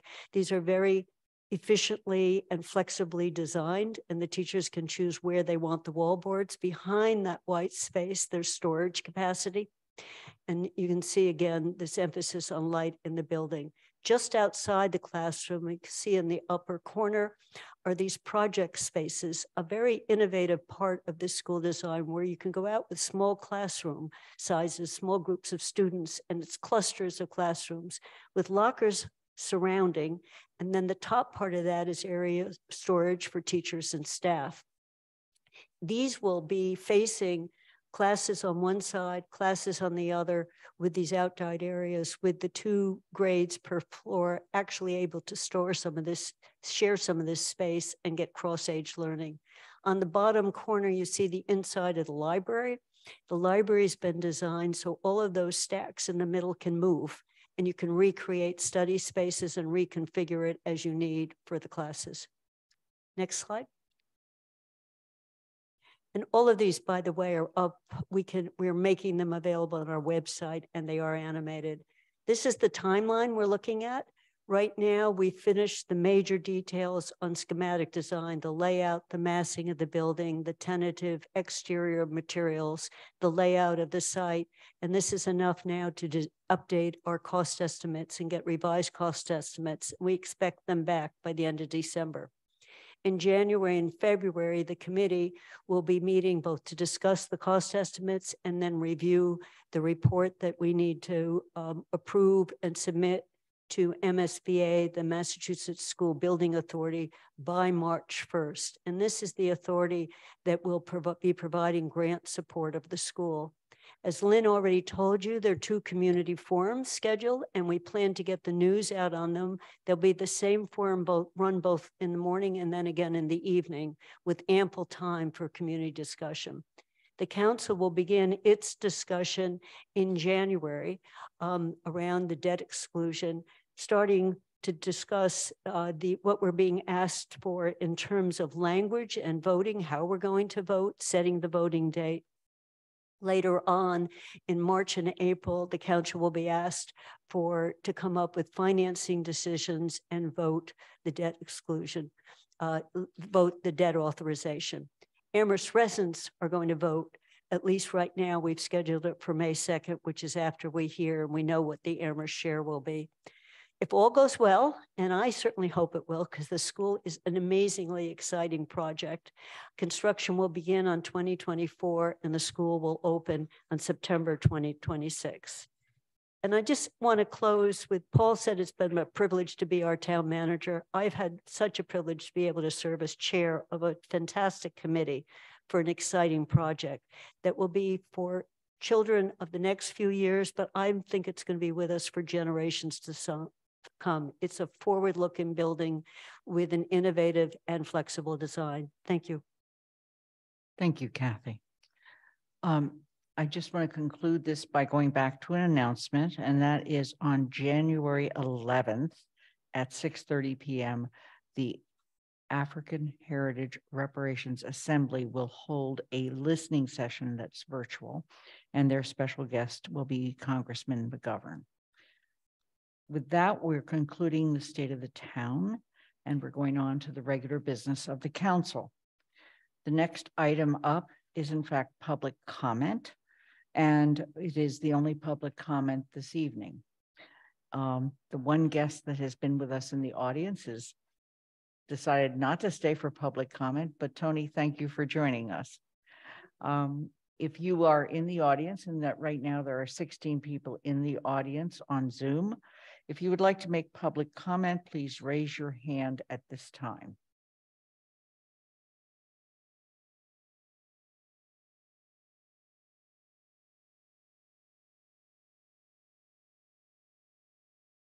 See no public comment. I'm going to move on to the consent agenda. And let me just note that we've added a couple things in the consent agenda, but I will explain them as we go along.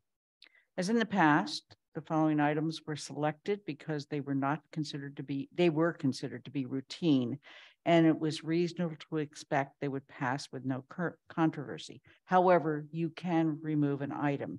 And at some point during this discussion, I will ask if there's anybody who does not want to vote on the zoning items, which will require a two thirds vote. So the motion that I'm going to start with, and then you'll tell me if you have any you'd like to remove, is the following. To move the following items and the printed motions thereunder and approve those items as a single unit. Eight A, proposed amendment to zoning bylaw, Article Three, use regulations, Article Five, accessory use, Article Eleven, administration and enforcement, and Article twelve, definitions. I'm not going to read the definitions. They're on your screen. The uh, bullets on your screen.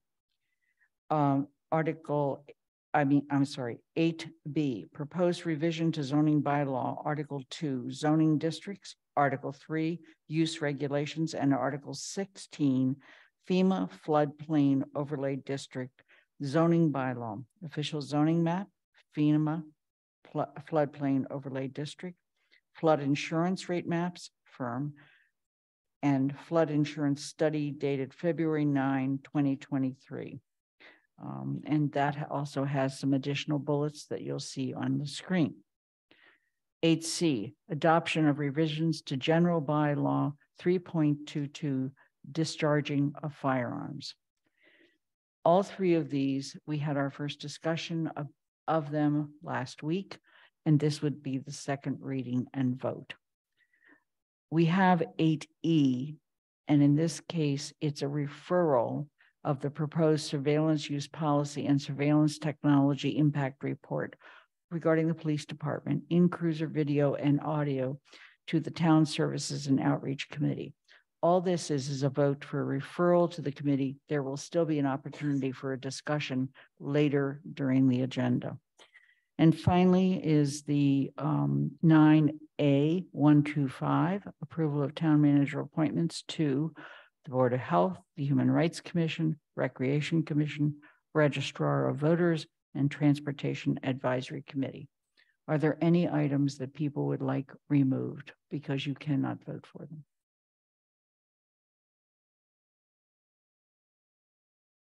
I am seeing none, so I am going to proceed with the vote. I'm going to start with, I think we need a second. I'll second the motion. I'm sorry, thank you. Um, The motion's been made and seconded. Uh, Shalini Bahl-Milne is absent. Pat DeAngelis. Aye. Ana Devlin Gauthier. Aye. Lynn Griesemer is an aye. Mandi Jo Hanneke. Aye. Anika Lopes. Aye. Michelle Miller. Aye. Pam Rooney. I'm sorry, Dorothy Pam. Yes. Pam Rooney. Yes. Kathy Schoen. Yes. Andy Steinberg. Aye. Jennifer Taub. Yes. Ellisha Walker. Yes. Aye, it is unanimous, and we have also achieved a two-thirds vote for those related to zoning. Uh, we have no proclamations this evening. And so we are going to go on to our first action item. I'm sorry, Pam, you have your hand up. Thank you. I just wanted to say thanks to the town staff for bringing those zoning uh, articles and all the hard work that it took to shape them and, and tie up the, tie up the loose ends. Thank you. Thank you. I think we all join you in that appreciation. And we're giving them a slightly earlier evening since we're not going to talk anymore about them. So thanks. Uh, we are going to move on to the transfer of a portion of Hickory Ridge property on West Pomeroy Lane to the Recreation Commission and appropriation and transfer for acceptance of the park grant. I'm calling on uh, Town Manager Paul Bockelman and Dave Ziomek. Thank you, Lynn. There is a detailed memo in your packet, and I think Dave was going to address this. And he's here. Yes. Thank you, David. Thank you very much. Um, a little ahead of schedule, um, but happy to be here with you tonight. Yes, as Paul mentioned, there is a detailed memo and a map, uh, as well as a draft um, order in your packets. this is a um, a um, an action, uh, a series of actions that we have followed before when the town uh, applies for and receives park grant um, park grants from the state the state um, uh, grants those funds, but in uh, uh, typical state fashion, they would like us to do something in return. And that is, um, they would like to dedicate a portion of the property to recreation, passive recreation.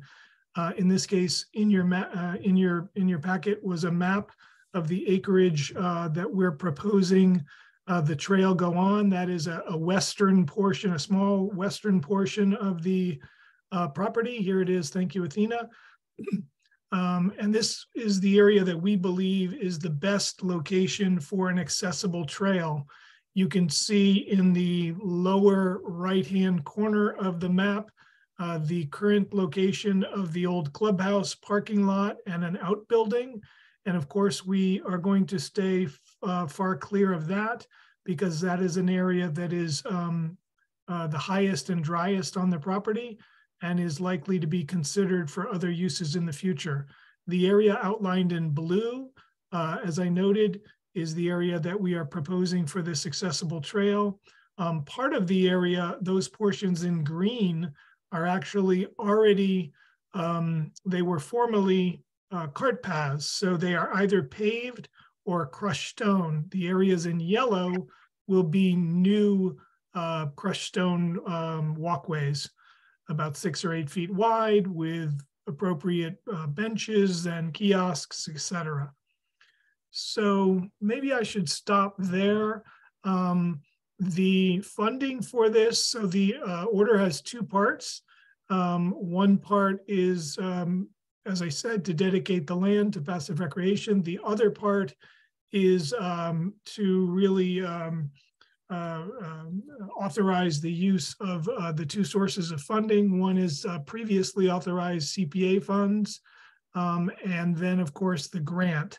So there would be no need for new funds to support this uh, $400,000 project. Um, we think that um, as part of the um, redevelopment of, of Hickory Ridge, uh, trails and trail development, both north-south trails and uh, accessible trails are in keeping with some of the goals of the project. Um, so I think I'll stop there and happy to take your questions. Thank you, David. Kathy? Yes, Dave, thank you for that. On the map, um, I was trying to figure out where the solar fields are going to go. So part of the what we did when we took this land is a part of the property has solar on it. And I wasn't quite sure where the trails intersect with that or whether they're completely to the right of the solar as I'm looking at the maps. Sure, if Athena could Just put that map, yeah, if Athena could put the map back up, that would be helpful. Thank you, Athena. So um, the Western array, so uh, thank you for your question, Kathy. It's actually quite timely because uh, my staff and I are in very active, I would call them nearing final um, completion stages with AMP Energy. Um, um, the building inspections office will be issuing a building permit for the solar in the weeks ahead. And AMP intends to begin construction probably mid to late January. And in the upper left-hand corner of this slide, you can see the cross crosshatched in blue. Thank you, Athena. That is the Western Array. Uh, for those of you in the audience, I know the council is well aware, um, there will be 26 acres of solar on the property. So the Western Array will be uh, where, where, where Athena's cursor was. The uh, Central or Eastern Array, yes, will be uh, approximately where uh, Athena kind of in, in the in the upper right hand corner of this slide. Yes, exactly up in that area. There will be two nodes of solar connected by a crushed stone um, um, roadway essentially. Um, so there's a, just to remind everyone, there's 150 acres, 26 acres of solar, um, and there is a small developable piece of property where the clubhouse and, and current parking area is. Uh, for those of you who have driven by the site in recent weeks, we are allowing um, the construction company that is doing the Pomeroy Village Center roundabout to use a small portion of the uh, parking lot for staging.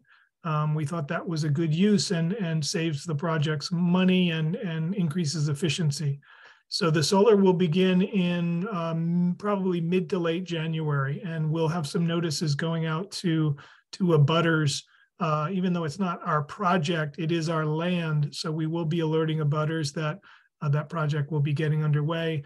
It will bring in. Um, I haven't looked at that pilot in a while, but um, my memory serves it's about sixty-five to seventy thousand dollars a year in pilot payments for that six point two uh, megawatt array. Okay. Any further question on that, Kathy? Well, just now that you've pointed it out on the map, how do they get to the solar array? Is there a bridge across the Fort River? You know, I mean, it, it- the access, so just trying to figure out how this works and that developable area you had told us was seven to eight, eight, seven to eight acres. This was the information at the outset. Mhm. So is the trail that is being developed, is, is it going to be part of that? Um, and would that mean that we wouldn't develop that area or, you know, I'm just trying to figure out how the site works. Um, and Yeah, including and- how you get up into that upper corner. It's great. It's again a very good question, Kathy, and and give gives you a sense. I was telling Paul just the other day the you know the level of detail and the number of details that are involved. Um, you know, I I listened to the the Fort River uh, presentation moments ago, and I realized that's you know a, a very complex project. But this, in the end, is a very complex uh, project with so many different layers. So again, 150 acres, 26 acres of solar. There are seven bridges. These are cart pa- uh, cart path bridges uh, designed for golf carts primarily, but also for lawn mowers. Of those seven bridges, five are over the the Fort River and two are over the uh, Plum Brook. Only one of the bridges over the Fort River was in uh, condition and and strong enough to support the construction of vehicles, which would be fairly small. This is not a huge uh, building construction project, if you will. These are these are pole-mounted solar panels, but only one of the bridges over the Fort River uh, could even uh, pass the engineering studies with some improvements. So those have all been uh, worked through with the uh, Inspection Services Department as well as the Fire Department, and that will be the first project that will be done. is is a bridge to the right of this uh, screenshot that I, I showed you of the property will allow for north-south access to the solar panel panels and that development. It also allows the fire department, the police department, anyone, even the DPW to go over that bridge in the future um, because we do have a cross-country sewer line that goes across the north section of the of the property. So this project will in no way uh, impact either the solar project or any uh, bridge access that we need. Um, there will be a north-south trail as well, um, and that was promised as part of the overall project. You may recall that one of the underlying, uh, um, you know, um, um, pieces of this project was to connect those residents living in the neighborhoods to the north um, up near East Hadley Road in Mill Valley in the Renew projects um, uh, I believe Renew uh, owns at least one of the apartment complexes and then another one uh, to the to the west, as well as the Brook, um, as well as residents uh, north of East Hadley Road. Those uh, those residents will now be able to access this incredible open space, as well as um, uh, the village center down at Pomeroy Village Center, down near El Comalito and uh, Mission Cantina and the the uh, convenience store there. Um, and I believe Renew um, Renew or one of the apartment complexes there has some um, uh, infill development projects underway, as I as I referenced a moment ago. So there will be a north-south trail as well as this loop trail down in the western section. Um, and of course, we'll plan for parking to be somewhere along um, Pomeroy, uh, West Pomeroy Lane. Okay. Andy? Yeah, I was curious about one thing, Dave. Um, when you go down to the handicapped accessible trail that's near Puffer's Pond along uh, what I guess is the at that point, uh, maybe Cushman Brook, it um, is accessible from a parking area so that somebody who's wheelchair bound or very limited in, in mobility can still access the trail, but it looked like the way that the trails are laid out in that map that you've showed us, it um, does not have any um, vehicle access to the points which are marked as handicapped accessible trails. And I was wondering how that works then. Um, I may not, I may not understand your, your question exactly, Andy, but um, suffice it to say that at least in the short term, people will be able to park near the clubhouse from the clubhouse to um, from the clubhouse parking behind the the old clubhouse is all bituminous pavement. And then we will pick this trail up if you will from the edge of that pavement west so uh, the path will be accessible for people um, who have mobility challenges from the parking lot all the way west, um, down along the, the Fort River, et cetera. So, um, you know, ultimately what we decide to do with that frontage will need to incorporate some trailhead parking somewhere near the current clubhouse. As I mentioned before, our plan is to is to raze the clubhouse. But whatever we decide to do in that area will simply incorporate some trailhead parking.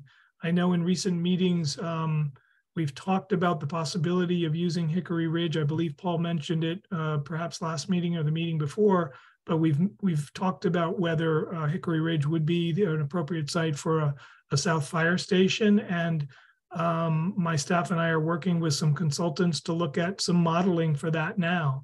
And of course, that would be entirely uh, compatible with uh, some some additional uh, trailhead parking.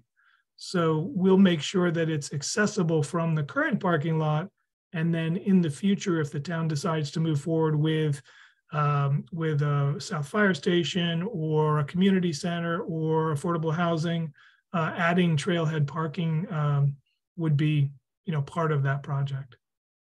And if you could put the, uh, if, if uh, Athena could put the map back up again, there are two sections that are marked in yellow, which I understand to be the um, accessible sections of the trail. And one of them is along the river. Um, is that also accessible in the way that you described? Yes, the so the entire green and yellow area will be accessible trail. So I, I don't want to say that just the yellow mm-hmm. is. The green is um, existing cart path. So we will be improving that. Essentially, we will be regrading and bringing in new product, uh, new crushed gravel, uh, compacted crushed gravel, crushed stone to make this entire uh, green, green yellow loop.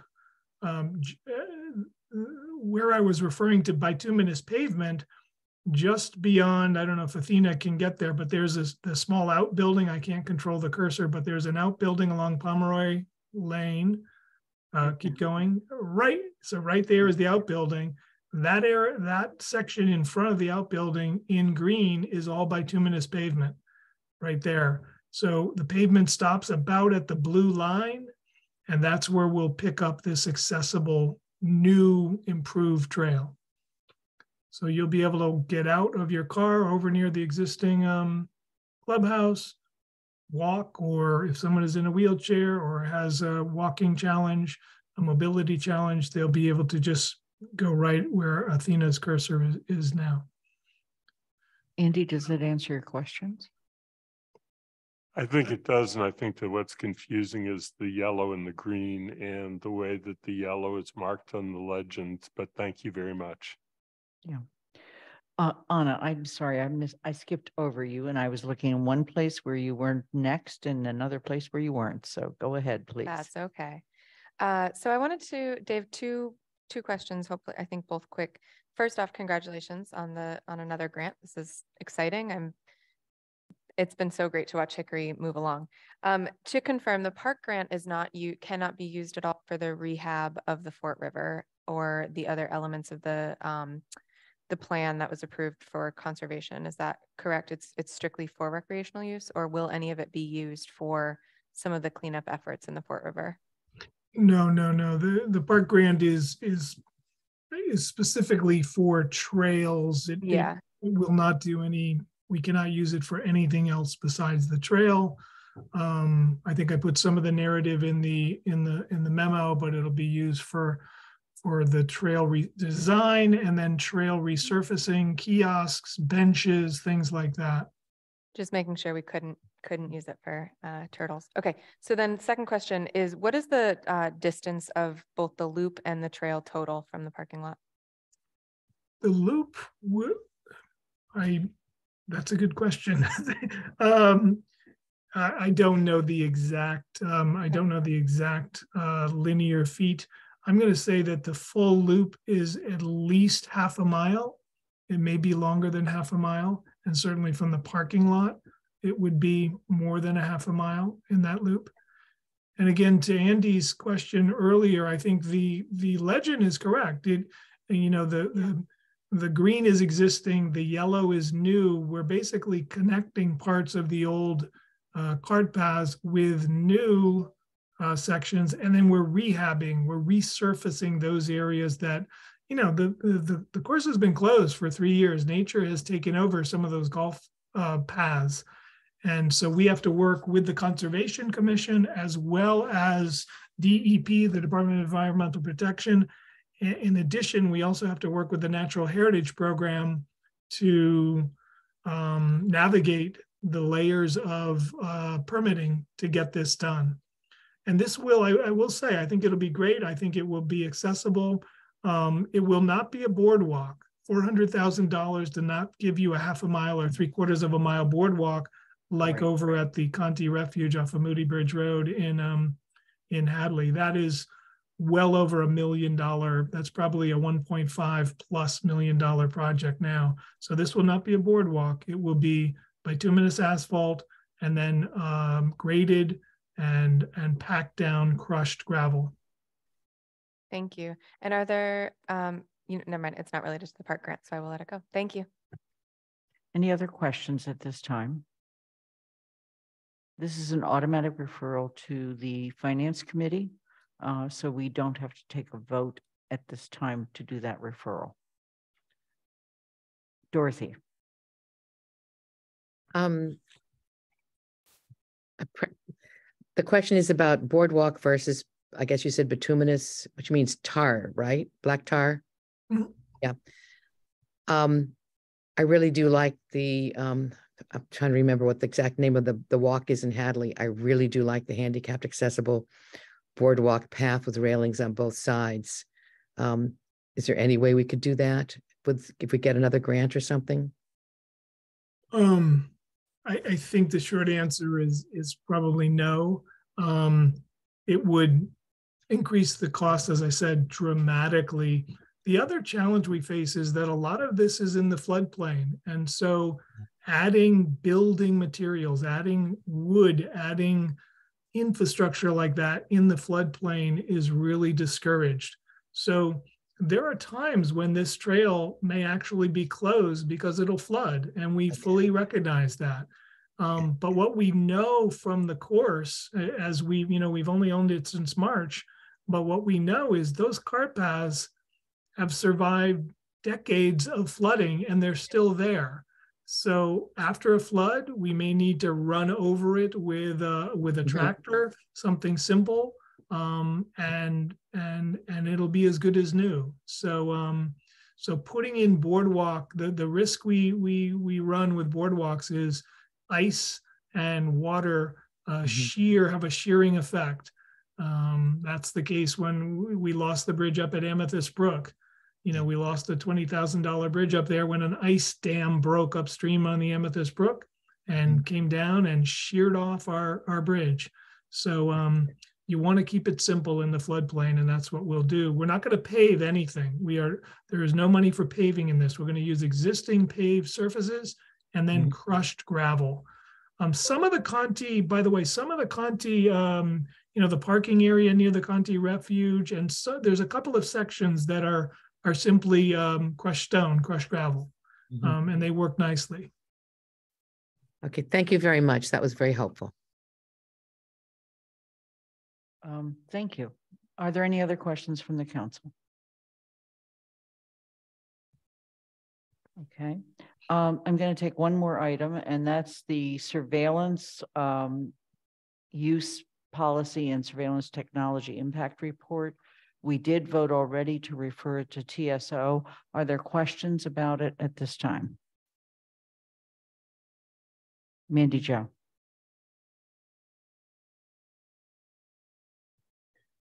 Thank you. Um, it re, from reading the report and the proposed policy and the impact report, it appears that the current policy, Department Directive eighteen is being incorporated into the proposed use policy. Is that correct?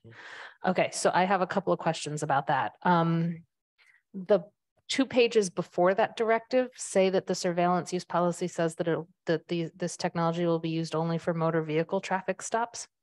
Um, but the directive itself says traffic stops, enforcement activities and special events whenever a camera is available or the conditions warrant. And so those don't seem to mesh with each other. They're different uses. Um, and one of my concerns about that is that nowhere in that department directive um, is a definition or a description of what quote enforcement activities and special events quote means.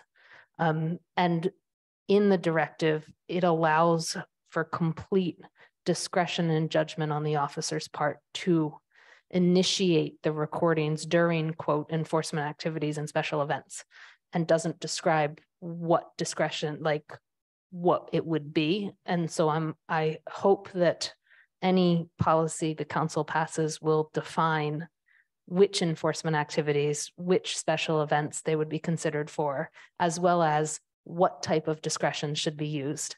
Um, you know, in terms of what circumstances should be present in order to turn that on or off, because when there's discretion, that's what leads to inappropriate choices on when to use stuff. Um, so I hope that'll be taken care of in TSO, but that was one of my concerns. Um, it also doesn't define what a traffic stop is. So does that, is that really just, does that, are accidents included? Are any, or is it really just stopping of a vehicle for a motor vehicle infraction? So I'd, I'd hope to have a little more fleshing out of that. Um, and then I just had one other question, um, which is, it says on public access. Um, I just, it, read to me like since the videos are kept for a minimum of seven days, that any video would be subject to a public records request and disclosure within that seven day request. And then if it's after seven days, only those vehicles that were, only those via videos that were downloaded for evidentiary purposes would then be subject to public records request. And is that correct? Is my question. Yeah, I don't know the exact answer to that. So these are really good questions we can prepare for that, because I think what we have is an existing policy that the police department has. We're overlaying our town general bylaw, which has a policy. And I think we're trying to, uh, we will try to get those to mesh. These are really good questions. Um, in terms of public documents, you know, as long as you have a policy for how long you're going to store documents, you have to follow the policy though, and unless you have, and so I hear what you're saying in terms of discretion for saving things and, and as long as you have a policy, but, um, we have to make sure that we're following that policy. And then, so if someone has a request or if there's a, um, something that happened that where the police department says we're going to save this recording, it, it's all public records, um, that anybody could ask for. Are there other questions? Yes, Pat. A, a quick one. Uh, it seems to me this is set up only for traffic stops. But if this were in place for uh, responses like what happened on July fifth to a new, to a noise complaint, we would have, um, evidence to see what happened in the encounter that could be used by the public, it can be used by the police department and as, as councilors. So wouldn't that be a, an important thing to have? Uh, I mean, we've talked about body cameras, but Mhm. in this instance, we have something that could have been used to help us understand what actually happened.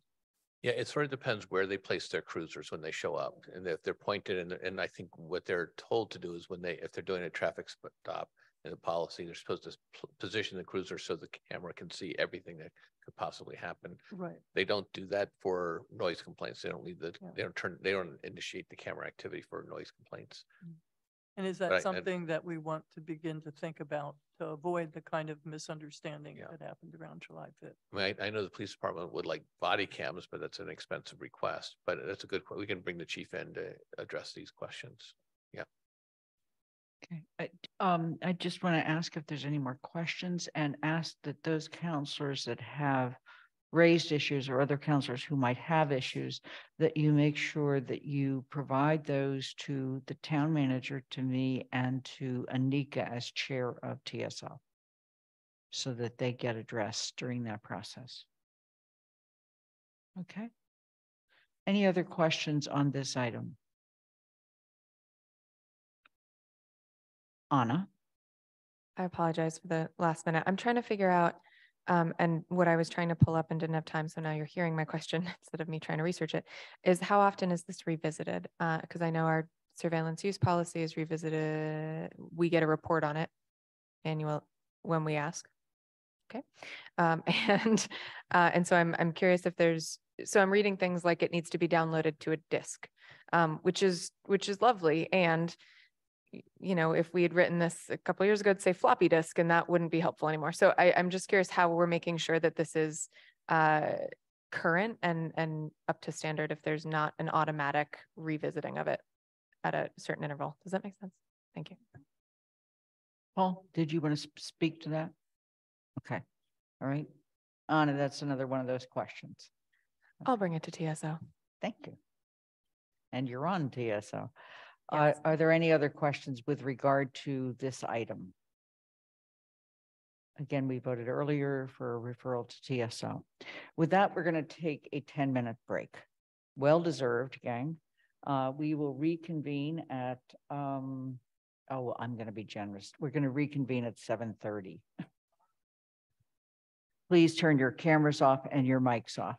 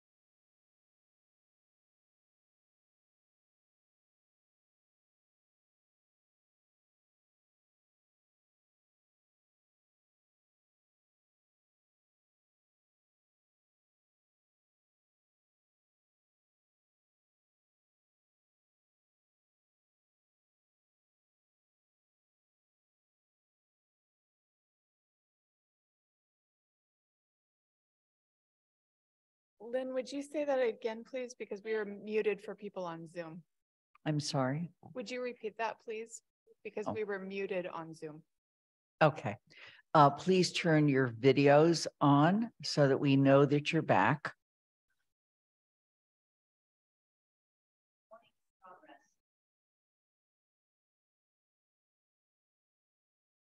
Waiting for Pam. Anna. Alicia, are you back?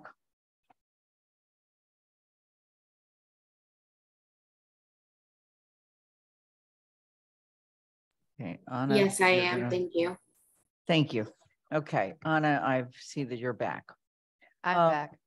I had an interesting email and I just want to point out, you know, we don't ever talk about how, th- who's on Zoom and the number, but many people watch us on Amherst Media, but we don't know those numbers, which is just unfortunate. But um, I want to thank um, the person that wrote in and reminded me to acknowledge that. Okay, um, we have two other action items. One of them we are not going to take action on this evening. And that is um, the town manager goals. Instead, there's two options. One is if you have thoughts about the town manager goals, please send those thoughts to, I'm going to say Michelle and Mandi Jo. Okay. And then um, on the 4th of, of January at nine o'clock in the morning, we will post the meeting as a committee of the whole so that all counselors can join and have some discussion about uh, items that have not been resolved within the town manager goals. But Michelle, who is chair of, how are you, Michelle? Um, who's chair of GOL, is going to highlight for us those items that are still unresolved and quote, in the parking lot. Okay?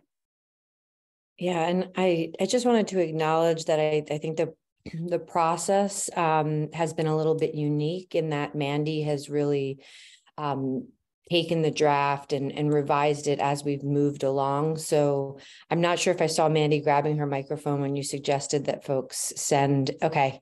Because Anika is also the, the vice chair of the committee. So I just wanted to um, you know, just at least acknowledge that this process has been unique in the sense that Mandi, as a committee member, has been helping um, in a significant way on the goals. Um, and I did prepare just a little something to say that I think mostly Lynn has covered. Um, the latest draft is in tonight's council packet, so um, you can look for it there, and it has recombined the council policy goals and the management goals. And just to reiterate what Lynn said, at the last GOL meeting, we went through the document. We created a parking lot for items that need more discussion. And I'll review those items in a moment. Um, and also to reiterate that on January 4th at our GOL meeting, it will be a meeting or a committee of the whole um, where we will continue discussion of these items. Um, so I'll start with the policy goals that we've pulled out, and I am going to share one or two sub goals just to give people context if you're listening. So um, the first policy goal that we pulled out is climate action. Um, this goal currently includes, for example, support for a waste hauler bylaw and actions on the CARP plan. The second we pulled out is community health and safety. This goal includes revisions to the residential rental bylaw and options for a youth empowerment center and programming. That, that's not all that these include. I'm just giving a couple items for context. Housing affordability is the third one um, in the policy goals that we've pulled out.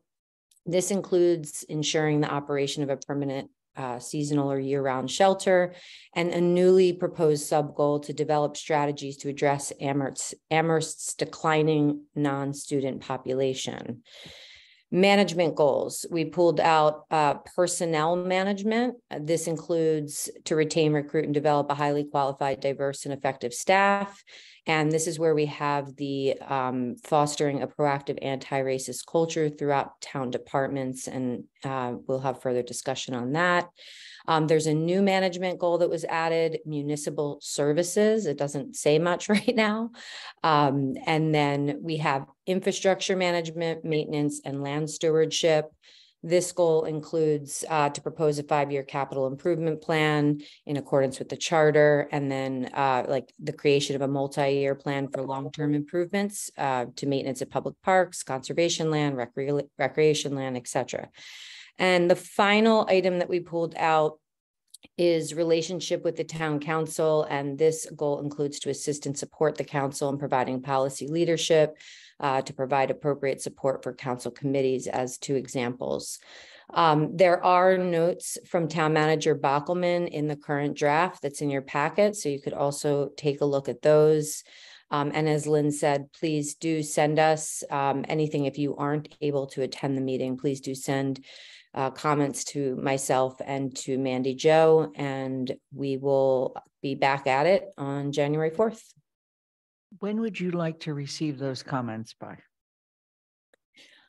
Um, I think it would be good to receive, so if somebody knows that they're not going to be uh, available to come on January fourth.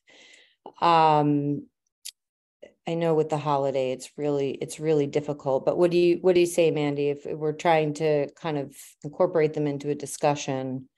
Uh, I mean, I would say Friday because I could then do a little bit of work next week trying to uh, draft or create a new draft based on any comments on this draft for the GOL packet and the discussion the next Wednesday. It would, you know, that could get posted late next week, I would say. Um, I had my hand raised up while I've got the mic. I've already received comments from two people on this draft, so they don't have to resend them to me. I'll make sure that they get forwarded if they haven't to Michelle. I'll make sure, Michelle, that you get a copy of those So you'd like them by Friday, uh, this week. December twenty-third, COB, close of business. Yeah. Okay. All right, Kathy? My, my question was mainly answered. Um, in terms of the way we send you comments or questions, um, is it easier to do a set of bullets or is it easier to do track changes? Because one of the things I'm concerned about is I don't think we should be Christmas treeing this. It might, it might not, or Hanukkah bushing it. Um, but by just adding everybody's in, um, you know, I think in, in some places, if we want to slim it back down, so just what, what is easier to work with? Michelle or Mandi Jo? I'm Um, Mandi Jo, yeah, answer that. it, it it depends on what the what the goal of your comment is, right? If it's you really don't like the wording, attract changes with new wording um, is great. But if it's more of a holistic, this set, or I would prioritize take climate action, for example, where there's a lot of comments about a lot has been added. You know, if it's a comment about I would prioritize these two over those three, that can just be a bullet, right? And I'll work I do my best. And sometimes I just add a comment in that says, some people want to delete, other people want to keep, you know, and so I think it depends on what the basis of the comment is. Thanks, that helps. Okay. Are there any other questions?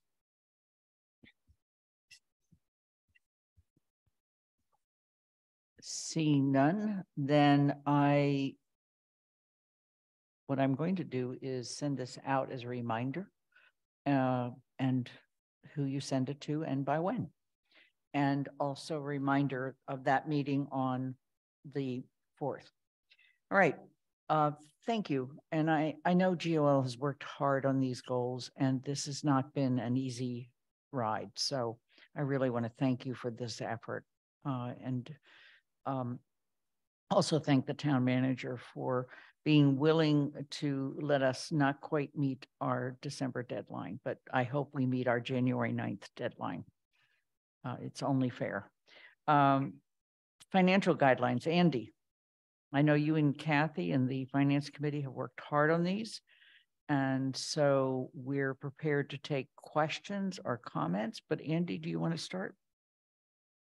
Yeah, I'm going to start with just uh, one introductory observation, uh, or maybe two, uh, because the first one is that we really did work hard on listening to, in very carefully to all of the comments that were made, collecting notes from all of the people who had taken careful notes and made sure that consideration was given to everyone.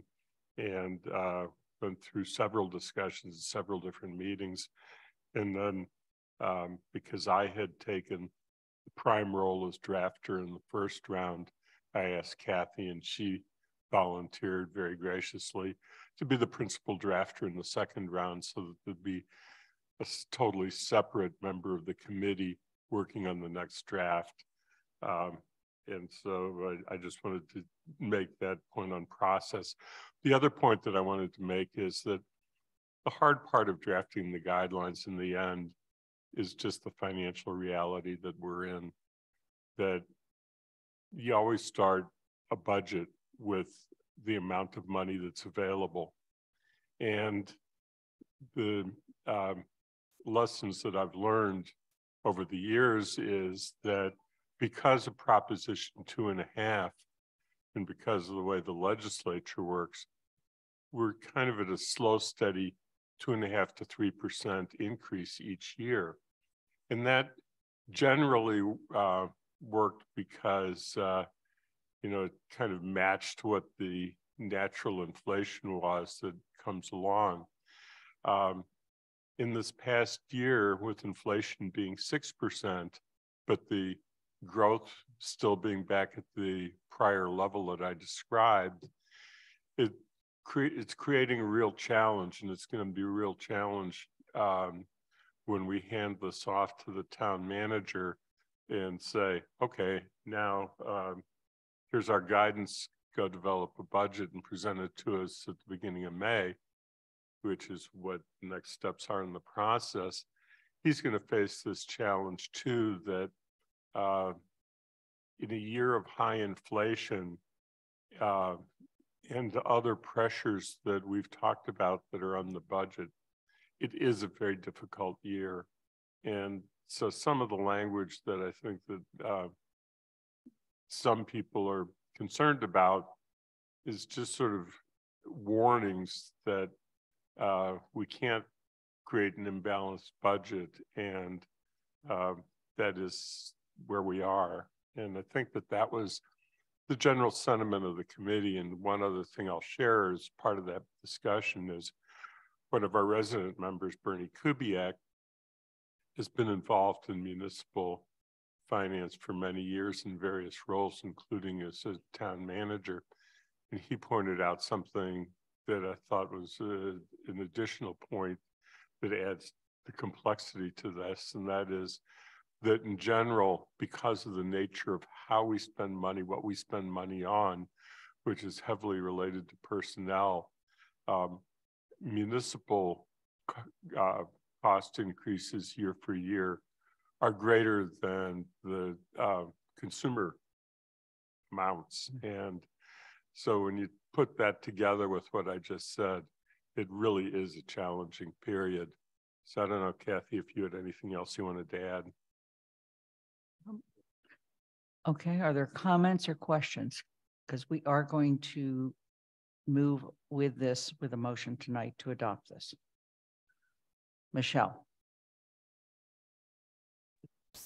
I want to acknowledge I'm a member of the Finance Committee, so I've been involved in most most of these discussions. Um, but Andy, to your point, and just building on that, I received a few emails um, from residents who were concerned about some of the language, like you're saying, the sort of cautionary language. Um, and I wondered, one, if you could um, just briefly describe what it means. There's um, a paragraph that says the town will likely need to forego taking on some new efforts unless revenue neutral until we have the funds needed for the major building projects, required work on roads and sidewalks, determine the long-term public safety plan and have the staff needed for the three public safety departments. Could you quickly say what it means um, unless revenue neutral? Um, and um, I think this is just building on what you were talking, uh, you know, about uh, in your opening comments, and that there does seem to be some concern in the public, not necessarily um, in disagreement that that this statement is is not true, um, but that it may give some ambiguity in terms of uh, the town manager's uh, sort of discretion versus um, the policy goals that we have created as a council. Yeah, no, that's a good point, and that is uh, what I was concerned about because it was that exact section that I know that has created some confusion and some questions. Um, maybe the easiest thing to do is to start with uh, the example of was uh, I thought about when I drafted that sentence originally, and that has to do with the waste hauling regulation. Uh, the waste hauling regulation would be a major change in how um, waste hauling is done if it is um, as um, the sponsors um, would like it to be. But the reality when you get look at the finances is that um, the amount that, that the amount that people are now paying for trash hauling from a private hauler that they're contracting with uh, directly will still be charged to um, the residents who are having their trash picked up from their homes, but it's going in it would presumably go into uh, the uh, appropriate enterprise fund. And the enterprise fund would then pick up the costs of um, running the system and uh, contracting on behalf of the entire town with a single hauler. So uh, we haven't done the arithmetic because we haven't worked out the whole proposal yet, but it is conceivable and I think, um, you know, at least um, more re- more likely than not that it's going to work out exactly as I described, and that the cost of the system is going to be picked up by um, the amounts that's coming into the enterprise fund, which for the homeowner will be um, hopefully um, some uh, neutral and so that everybody comes out in the exact same place. So that's an example of a kind of major initiative that probably, not definitely, but probably can be done totally revenue, revenue neutral. And uh, on the other hand, if it is something that has to be entirely picked up by um, taxpayer money or other money from the budget itself and there's no new revenue coming in, that's where the problem lies. And that's, I think, the distinction that I was hoping uh, to at least signal. So I hope that answers the question. It does. Thank you. Okay. Dorothy. Well, I guess my hope is that um, some things that have been talked about, such as the Youth Empowerment Center, could be worked on um, not necessarily committing funds till we have them, but um, I'd hate the thought that they aren't even moving forward at all um, under these guidelines. And um, so that I, would like, I think I need a little clarification there. Um, so that's it. Andy, do you want to address that or go to the next person and then come back and address more than one item? I think that that one can be addressed fairly quickly because um, I think that uh, there, there's various questions that have to be answered and talked about, and I think that they need to be talked about and can be without delay. Uh, are we talking about a physical building that's a new building, which would be quite costly? Or are we talking about programming and what kind of programming? Um, so there are issues that can go forward, it should go forward with development because this isn't the um, goals section that uh, GOL is working on to present back to us in January. This is uh, solely around the budget. And uh, so we need to just be very clear as we're working through the goals part is to what can be accomplished without um, significant budget investment and um, choose to emphasize those to the extent that we need to be cautious.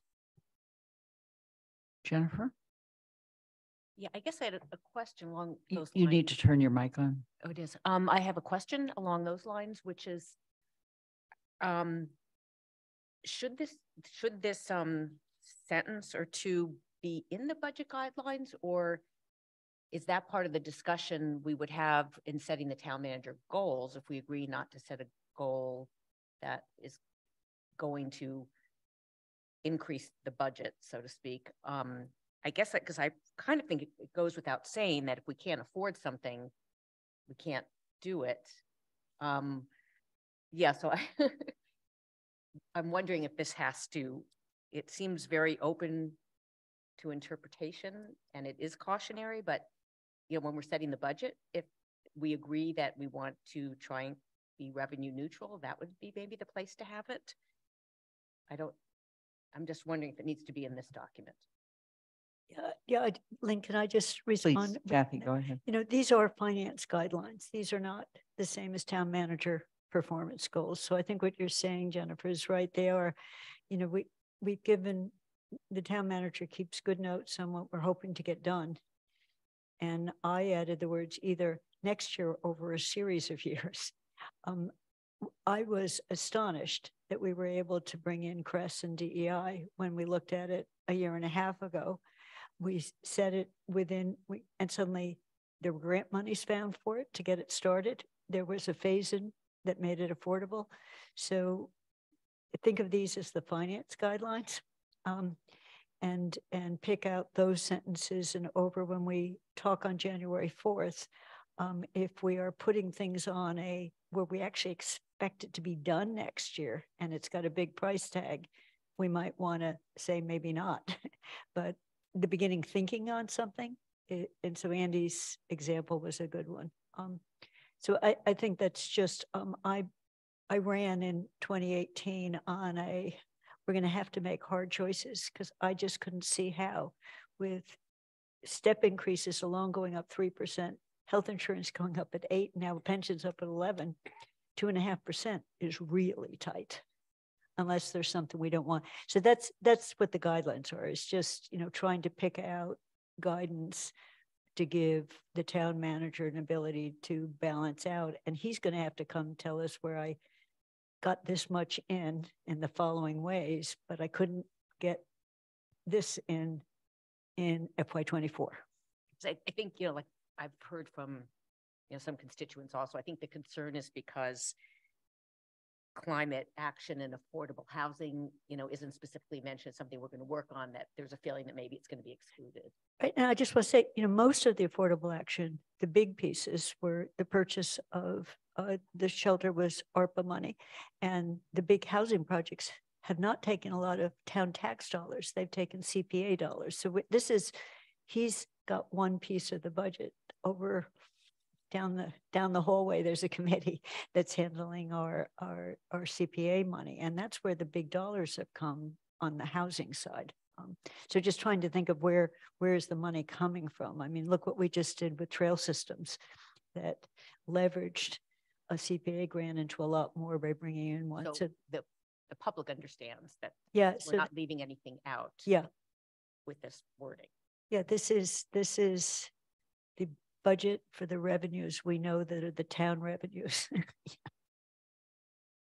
Yeah, I think that if you look at what we built before, and what we're proposing to build at the East Street School and on Belchertown Road in the property we bought, that um, one, once the land is purchased, then the uh, land is made available to a developer that's chosen in a process that um, our staff administers. And uh, the developer is taking on the responsibility of seeking funding, which comes really from a combination of sources. Kathy mentioned CPA. Um, usually there's funding that comes from the state, from E- um, Executive Office of Housing and Community Development. And uh, there may be um, loans. And uh, so the, through a combination of resources, the housing um, moves forward without further town, significant further town investment. Some of the energy is the ones, it's going to be more difficult um, because I'm not sure that we have the experience yet of knowing where the grant money is um, and what kinds of sources there are. But uh, we hope that they will be there. I think in the end, uh, my final thought is that uh, I hope that uh, Paul, who's just sitting there trying to uh, keep uh, keep quiet on this, um, if he doesn't feel that we've given clear guidance, I think that it would be important to hear from him that uh, the, the guidance isn't gonna isn't clear enough for him to give him the guidance he needs. Did you want to comment, Paul? I think the guidance is helpful and, and I think it is clear.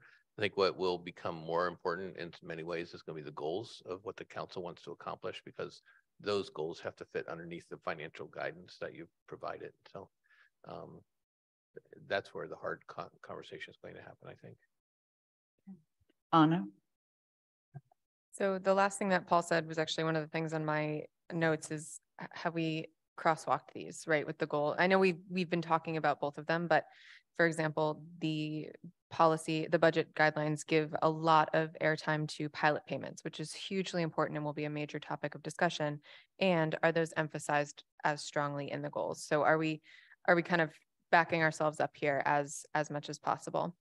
Um, I appreciate the end of section seven where it talks about timing on the on the budget uh, process. And I think that is sure to be a very, very rich discussion about what that looks like to, to think about our timelines with these um, and where there's latitude and where there is not, and how we incorporate feedback and not. Uh, I also appreciate the in inclusion, I didn't write down the paragraph, sorry, but of the chart of re-examining the charter formula and where that charter school formula and where that led me was thinking about the, the people who are on the CC list of this um, document, it doesn't include Jo and Mindy. And there's so much in this that indicates the future directions that we will be going with ideally their support and help. Um, and so I would encourage us to consider adding them to the list of folks we send this to so that they they know what we're going to be coming to them for down the pike as well. And I know they're paying, I, I know that they're listening and watching and paying attention. And just sending a paper copy might also be good for us. Thanks. Right. And as we um, indicated in the, um, as I indicated in the president's report, Nana, you were at the meeting. We've talked about having a meeting with them in January that would be a little bit longer to talk about the priorities of the town and particularly where legislative action might help us, grants might help us, because they have been enormously successful in helping us get grants be, and along with our amazing staff who where I, I I'd like to hire them out as grant writers anytime. They're very good. Um, let me just say, I look at this and to me, it is a crosswalk with the goals. And I think the thing we often lose sight of is that planning and getting things ready for prime time costs money even if we're not going to do it.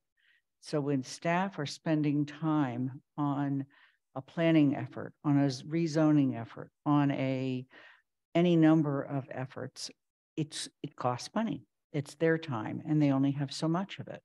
So as we look at these, that's one piece. The other piece, and, and this is again, I'm going to go back to the staff have been amazing at bringing in grants for everything.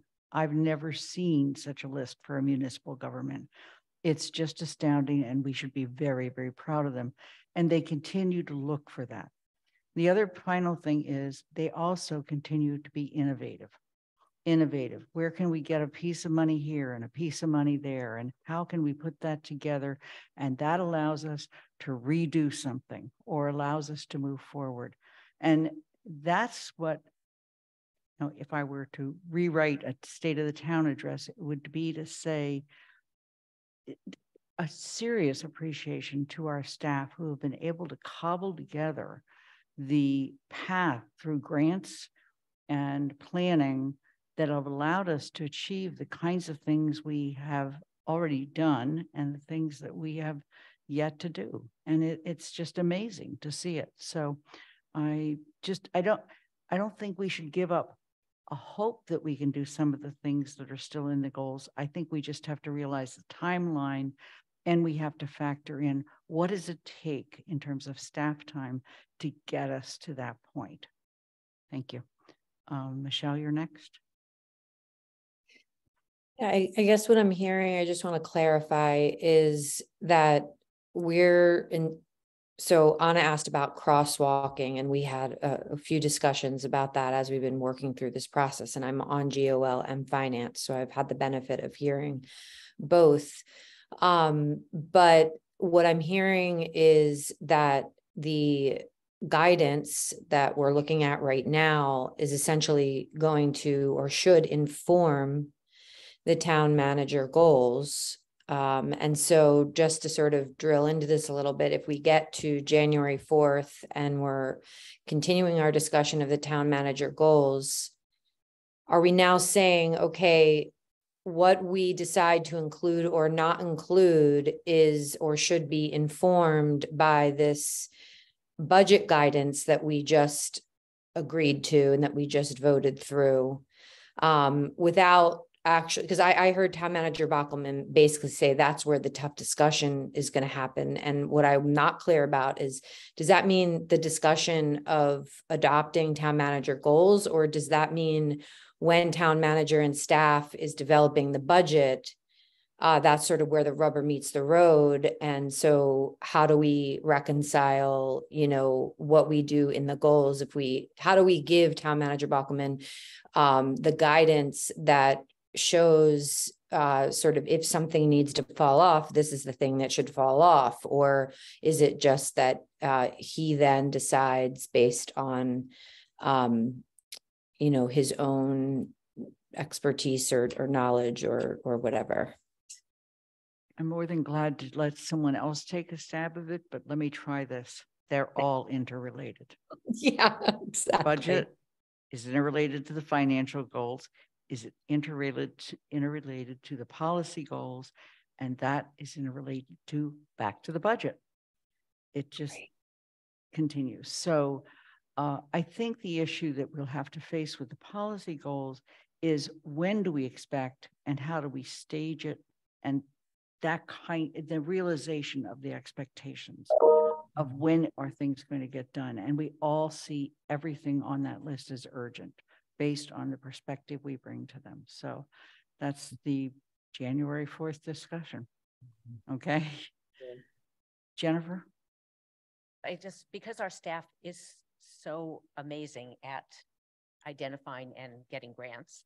If there was something on a goal that we didn't think we had the revenue for now, and I know that staff time is money and it's a lot of time goes into applying for grants, but could something be on the list in the hopes that maybe there'd be funding?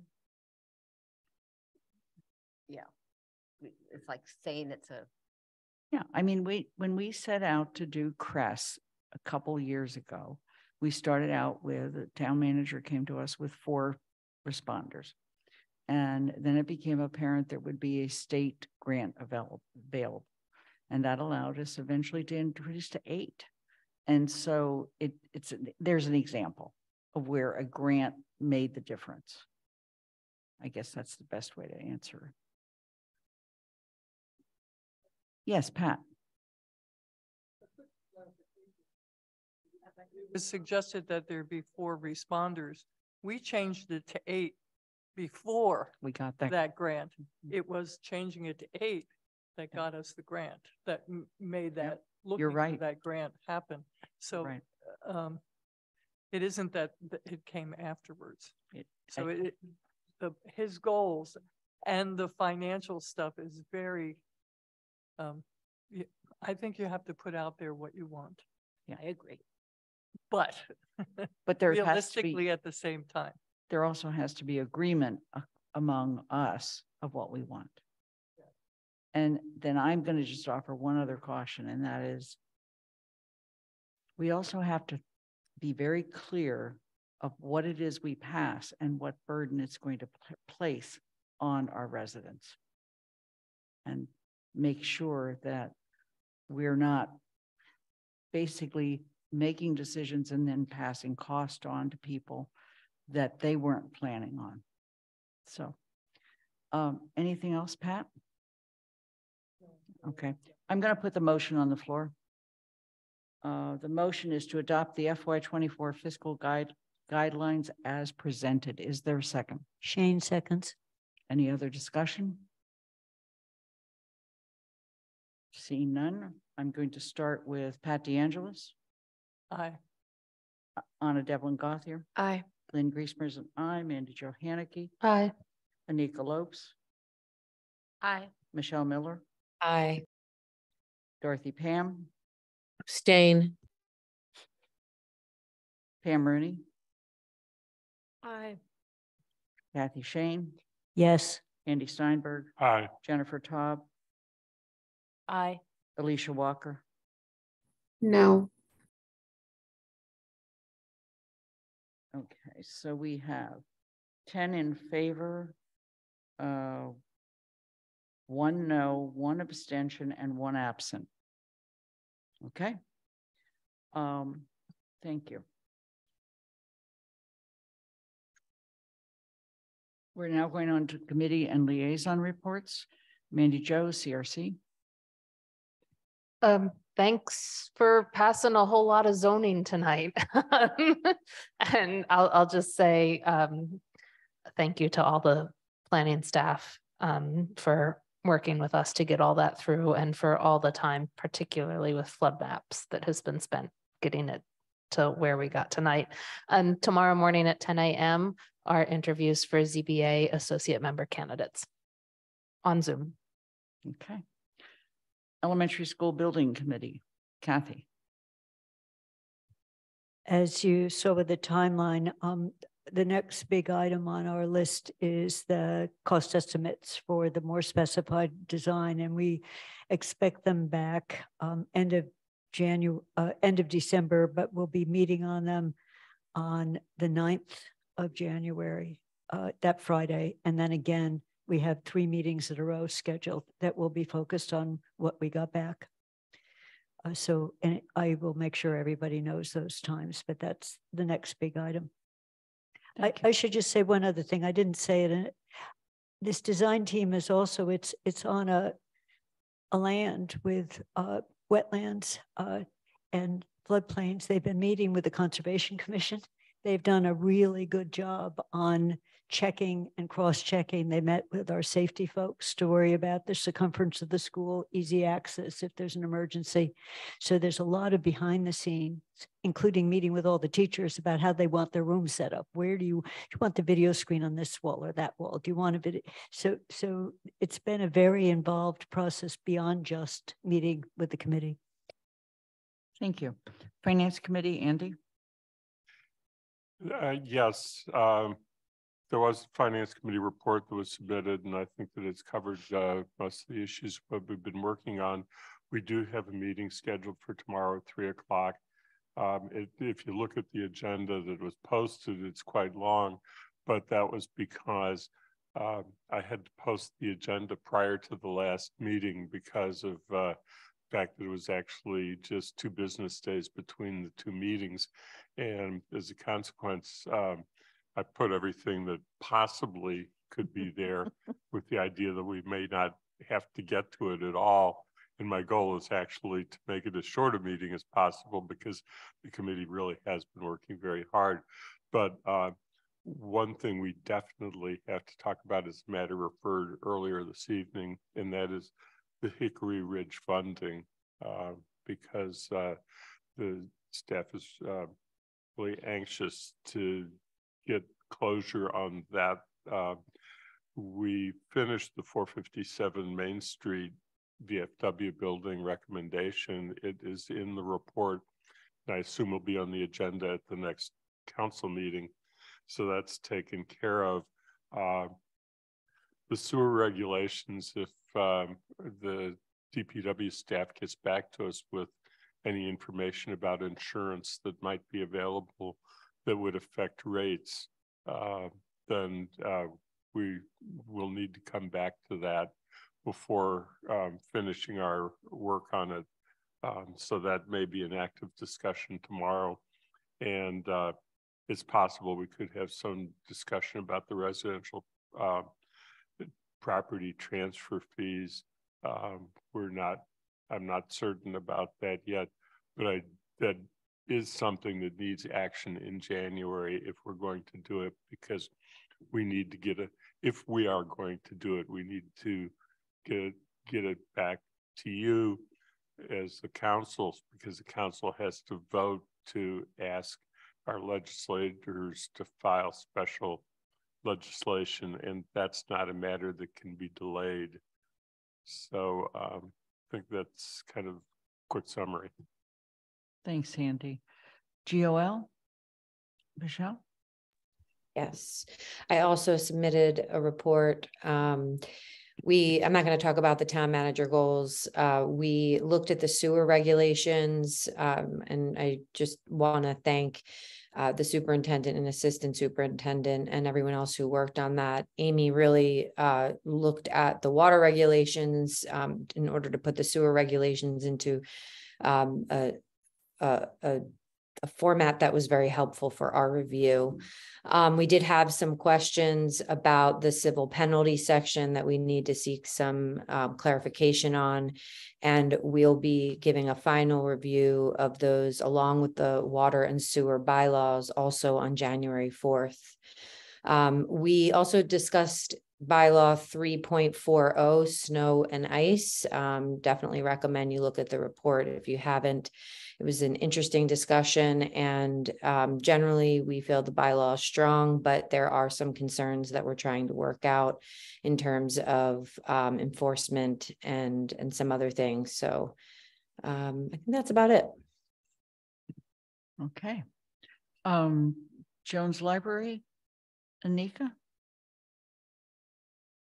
Okay, so I do think that uh, uh, Library Director Sharon Sharry covered a lot of this. Um, but our last meeting, we were able to see um, some updated floor plans and we revisited both the schematic, um, well, the schematic um, design, development and documents and bidding phases.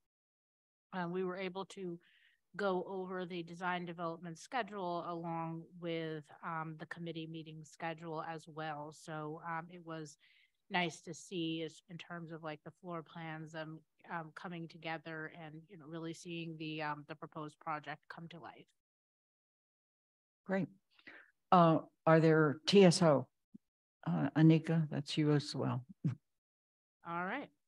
So uh, we had a we had a um, our meeting was this past Thursday and it was nice. We had a um, overview and by uh, Town Manager Bockelman and discussion around um, the proposed. Um, sorry, the why I just went blank. I'm sorry. Universal composting. So we had a really nice um, discussion around that, and really, you know, thankful for um, the manager's updates and also the councilor sponsors and all of the work that's gone in around that. Um, we also had an overview and discussion of the proposed water, water and sewer uh, by, uh, bylaws that was led by Superintendent Amy, Assistant Superintendent Amy, Amy Rather, and would like to thank her. She's kind of an honorary member of TSO. Thank her and Ana for all of their work around that. Um, and then we also had, as we're past um, tonight, some great discussion around the appointments that Paul Bockelman had put forward. Um, really a great range of people. I believe there were at least two that were trilingual. Um, great, you know, age variation, um, you know, economic and ethnic backgrounds. It was all over the boards. It was really nice to see that type of um, diversity coming in, and I'm sure that all of them will have a lot to add to those committees. So thank you again to Manager Paul Bockelman. Did we just lose a councilor?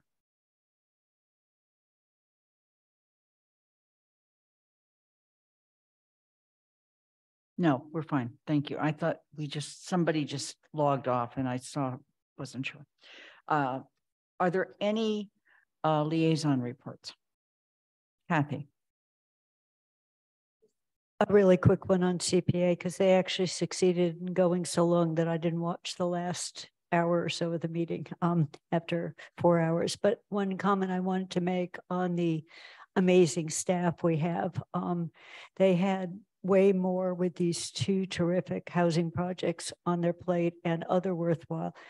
It looked like they couldn't do it all. And they, he came in along with Dave Ziomek in a way to finance it with a path forward to gave them some choices they didn't think they had. And watching that, when you talked about it wasn't even a cobbling together, it was saying, you know, they don't really need this much because we had this much money over in ARPA and we can do this. And together it gives them enough money. So um, that left them with changing their votes about some projects because they had they thought they had to choose one or another. So uh, just kudos to your staff, Paul. Um, on a, it wasn't even a you should do this. It's like how you could do it if you wanted to do it. He really stayed neutral, but it was fabulous to watch because the committee was literally grateful. They said, "Oh my gosh, this is great."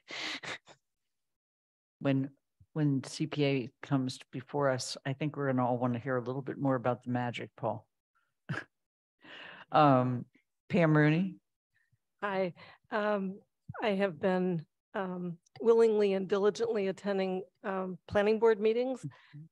There has not been that much in the way of policy, which would take our time, and usually it's at you know 11:30 at night. So this is just a you know nice early evening uh, to bring you up to date to some of the incoming things that the planning board, um, excuse me, the planning department um, is working on as reported. And the design guidelines for the town center are uh, something that um, were requested and desired several years ago. There is an RFP that is drafted uh, that would get a consultant in to do this work uh, with lots of community involvement. Um, at the same time, another wonderful grant came through that has to do with uh, sidewalk and public space improvement for $75,000 that the department uh, obtained. And so the revision of the RFP for the larger design guidelines is going to try to incorporate the additional money and the additional scope that the $75,000 can, can afford. Um, the Boltwood garage is a question that has come up a number of times. Can it be added to? And apparently the contract has been signed with the engineering uh, firm that actually uh, designed the Boltwood garage to begin with. Um, that that answer is not back yet. Um, the the question about evaluating other alternative sites for parking garage has not been started. It was deemed um, not a, it's, it's a voluntary thing by the planning department rather than a directive from town council. So at some point, it would be appropriate to have town council vote to ask them to kindly look at alternative sites. Um, all that said, I would note that the planning department lost two staff members within the last couple of months, and they are down to two whole people um, the director and senior planner, which means there is a huge burden put on these two people. So things I think will need to take their time. Great. Any other liaison reports? Okay, then I'm going to move on. We don't have any minutes tonight. I'm going to move on to ask Paul, is there anything you'd like to report on? So two things. One is um, I will be doing a written town manager report monthly from now on, just to sort of because it takes a lot of time to put them together and it seems to make more sense because so much, I think if you noticed that a lot of it was repetitive. And so doing it monthly, I think is, will be better use of time. We're also uh, sending that out as something that people can subscribe to. Um, and if they would like to receive it, we send it out automatically. The second is I appreciate Pam bringing up the um, staffing challenge for uh, the planning department. We lost two very highly qualified um, planners. Uh, both went to better jobs. Uh, one went to MassDOT, making significantly more money. Um, and then Maureen, who's I had a long conversation with her. She was really torn about going, but she had the opportunity to become planning director for the, the town of Montague. Um, and so um, she loves working here, but this is just an opportunity in her career that she had to follow, I think. And I, I appreciate, I supported her actually on that. Um, but it does mean, as Pam said, there's two staff left. If it's a four person department, it's Chris and Nate. And um, we're triaging that, like, because, you know, neither of them expected, you know, Ben and Maureen did not think that either one was, was leaving when they were pursuing this. So, um, and just in terms of the grants, they are great grant writers, but those are the folks who were writing a lot of our grants. So that's going to come to a, a halt because we we have to digest a lot of the stuff that we that we brought in. And quite frankly, the, the state was pushing out a lot of money in the last few months. So we want to be there to, to grab it um, and be receptive to it. But given the staffing challenges, I think we're going to have a hard time seeking more grants at this moment until we bring new people in. But I think we'll get some really quality people. It's a great department to work with, and we're in a good location to attract really quality people. So, so it'll be a challenge for a bit, though, and I appreciated Pam noting noting that. Are there any questions of the town manager? Kathy. Just, I have a really quick one, Paul. I don't know whether we have ever, or in your experience, um, are there people that are experienced at grant writing for municipalities that could, be hired on a temporary basis? Just on a, you know, uh, and I don't know how how that might work, but um, because I totally agree, there are things rolling out, and I don't want to miss, you know, the scan. um, there are people do, who do that. There are people who previously worked for the town. More likely, we would use them for um, writing opinions because uh, writing opinions and uh, or decision, not opinions, decisions for the ZBA and the planning board takes an enormous amount of time. So utilizing people who can listen to a recording and then do the first draft of a decision is probably the best use for our consultant. And Chris has is starting to work on that and getting somebody online to help with that. Dorothy. Do we have any formal goodbye ceremonies for staff that leave? I mean, you know, but some really good staff is leaving and retiring, and uh, I'm just kind of hoping that we can celebrate them in some way. Yeah, so the staff tend to do that for themselves, uh, quite frankly. I mean, there, you know, they, there will be an event tomorrow for Maureen and it's potluck. We don't put, you know, the town doesn't put money into these events.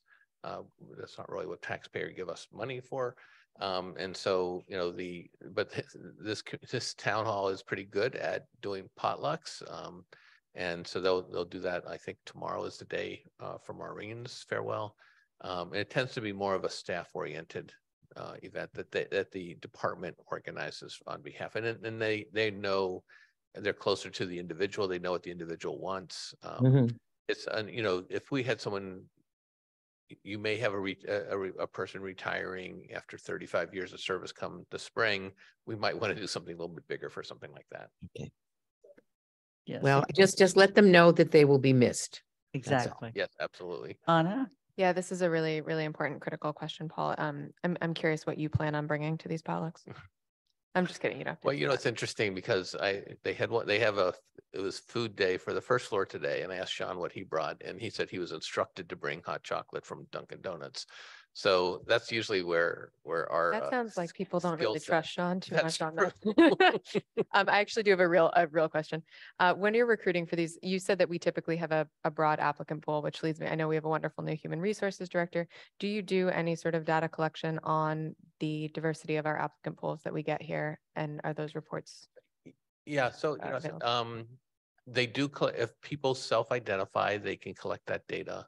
Um, we, I can see what kind of that, what kind of information is available. It's a really good question. Um, And I'm not saying it's necessarily something the council needs to yeah. be, be involved with. I was, I was more curious from your end if that's something that I, I trust that we get amazing applicants and I'm curious about, about that element. So, so there's two things. One is applicants and one is how are applicants um, treated. And so I, we have a standard, and we were starting to go through this a little bit more in detail um, before the previous HR director left about, uh, we had a policy of uh, anybody who identified as um, a person of color or uh, uh, or in another way, we would interview them automatically.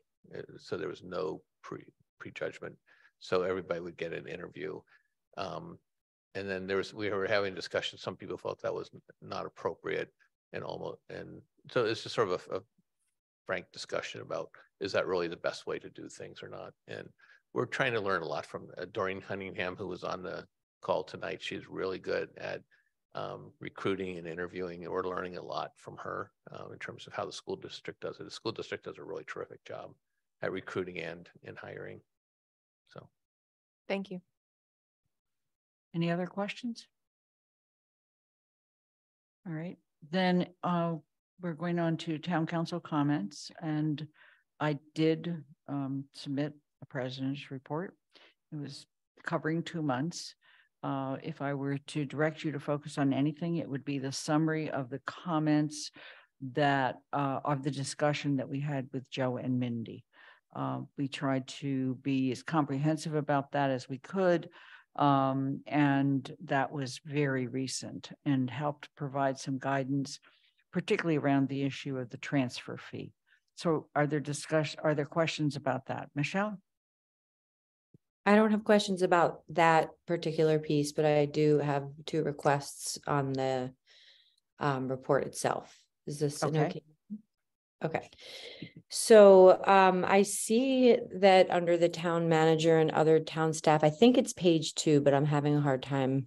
Um, you, I think, put in the um, four meetings uh, that happened with the police department, two of which councilors attended, if my dates are matching up right. So I'm wondering, or I'm requesting that you would add some language that would make it um, knowable by the public that in those two meetings on December first and second, councilors were in attendance.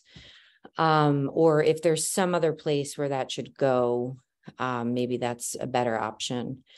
Um, and then the other request is just like with the meetings with Jo and Mindy, I would like to see um, a bulleted summary of the discussions that occurred in the meetings with the Amherst Police Department. And again, so that it's transparent to our community, um, given those meetings happened, I think there was um, concern that those meetings were not uh, known by the public. And so I think it would help if we were able to provide just some summary basis for what occurred um, in those meetings. Thank you. I'll have to do that obviously as an addendum to the report. Thank you. Are there other questions or comments?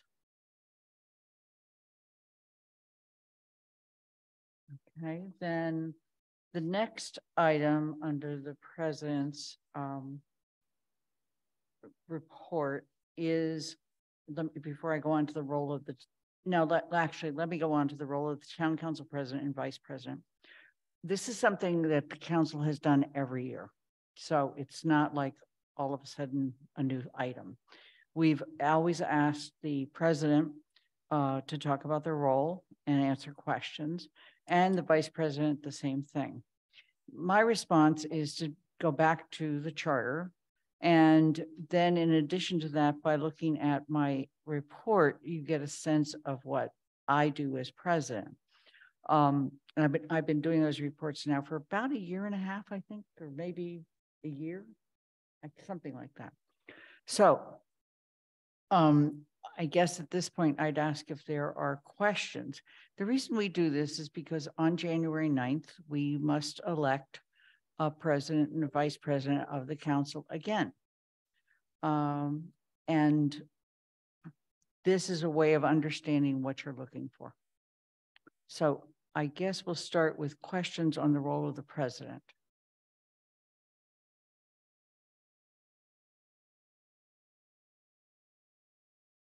Michelle. I have a quick question. I was looking at the charter that, uh, the, the excerpts that were in the packet. Um, so this is per the charter. Are you asking us to look at, um, only the charter or also to consider what is in our rules and regulations? I know it's what's here supersedes that, I- but, I've actually included excerpts from both. Oh, I'm sorry. Okay, thank you. Yeah. Because there's a- whole lot in the rules as well. Yeah, absolutely. Okay, perfect. Thank you. Okay.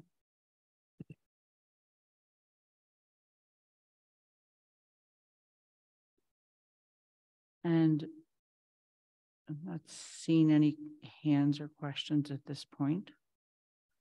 Um, so meantime, I'll just ask Ana if you would like to talk particularly about your role and besides the fact that it's to fill in whenever I'm not able to. which, you know, I got to talk at the dog park opening, which was great, but feel free to go on vacation more.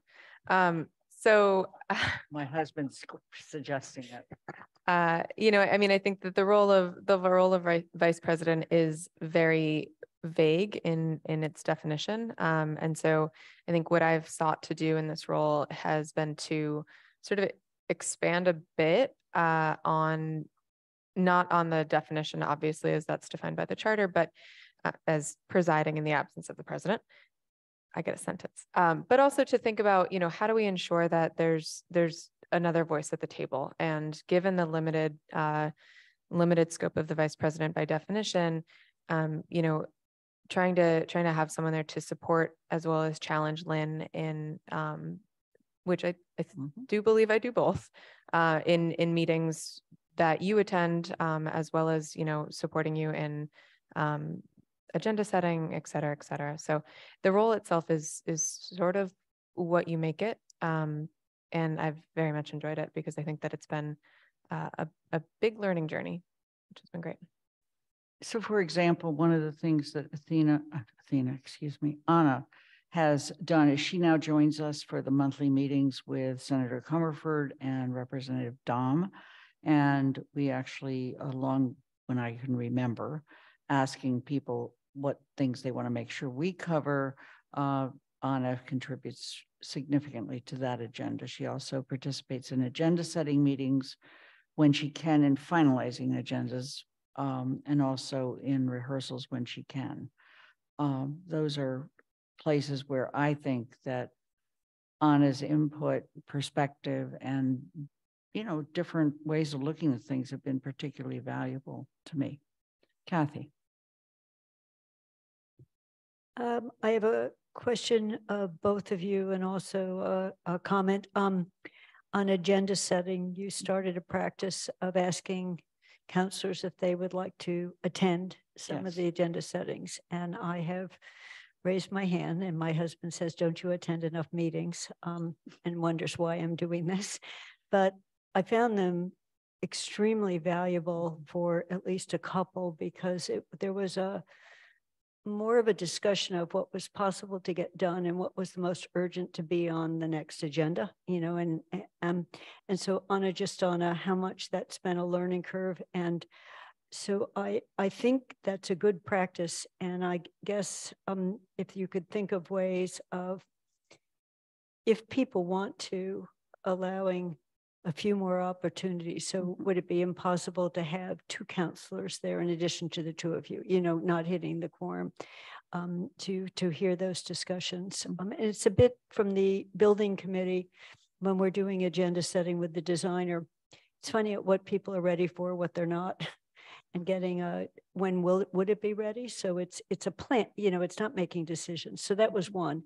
And then opening up the meetings with Jo and Mindy. Um, and I don't even know what I think would be reasonable, but I've sent all my thoughts about the school and state financing, and I've tried to steer away from others, I've sent them through you rather than directly.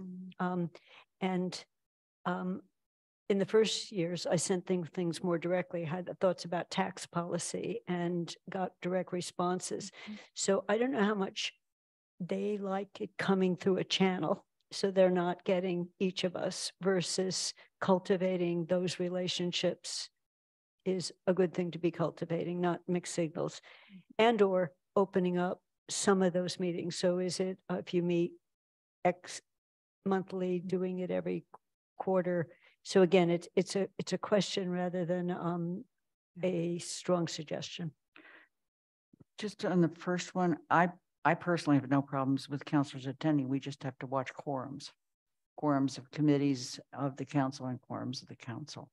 Uh, I, I find it actually very, um, positive in terms of the input and understanding what goes into setting up agenda. I'm looking around. I know several of you have attended um, this last year, and I don't see any reason to change that. And if we can do two councilors as well as Ana and myself and not have a quorum of the committee, I'm looking at Athena. She's rolling her eyes.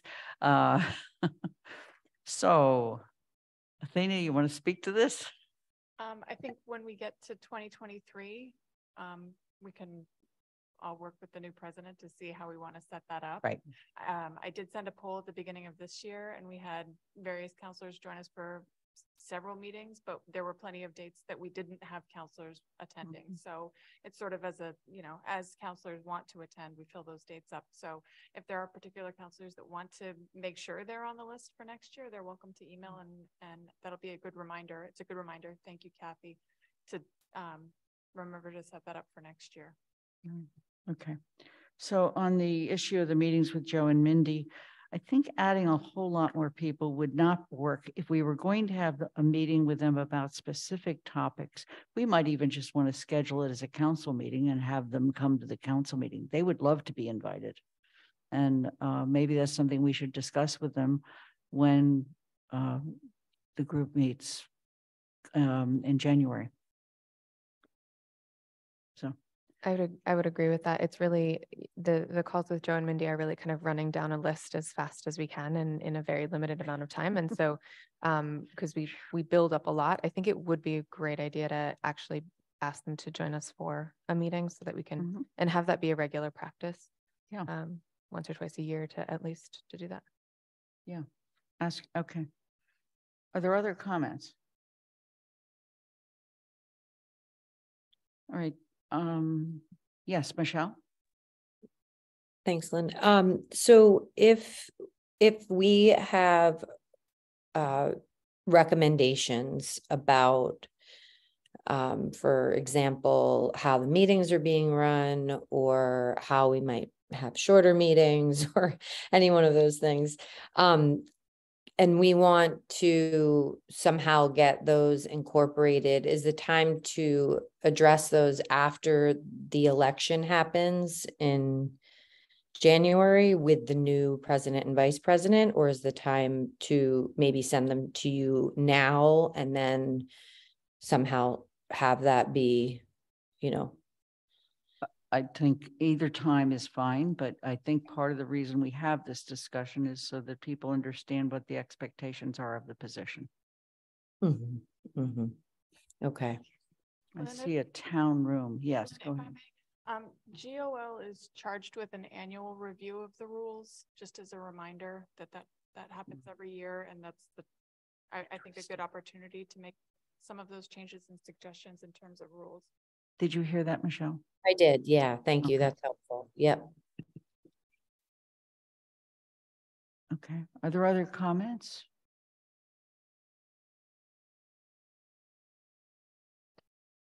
Thank you. Okay. So I have one other point uh, that I just want to bring out from the charter, and that is um, each of you, we all, each of us serves on committees. Those committees continue until a change is made, and the earliest any change would be made would be by the second meeting in January. And I've also had a counselor ask whether or not we might relook at liaison appointments. But all of that is what gets discussed on January 9th after the election. But if there was any question is why, do I still serve on this committee until whenever? And the answer is until January 23rd, you still serve on that committee. Because I know you're calling meetings and working on stuff. Are there any other questions or comments? I can talk a little bit about future agenda items. Uh, Athena, Can I make a very quick announcement? please. Um, some of you have already met some of the new minute takers that we have, so I'm really pleased to say that our council committees are all staffed with minute takers and we'll have a new minute taker here with us at council meetings starting in the new year. So thank you for welcoming them so warmly so far. Great. And thank you for spending time hiring them. Anika? I was just going to add that I forgot to thank um minute taker. What is, I forgot her first name. Last name is Miller. Kelly. Kelly, yes. I forgot to thank her in the report. Thank you for that reminder. So you've already had uh, one of the new minute takers at TSO. Yes. Excellent. Um, so on terms of future agenda items, let me just find my.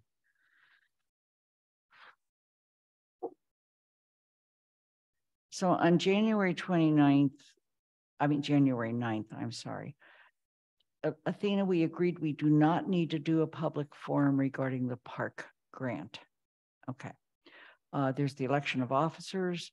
There might, by that point, be a presentation regarding the strategic agreement with UMass, but we're not, we won't know until they let us know.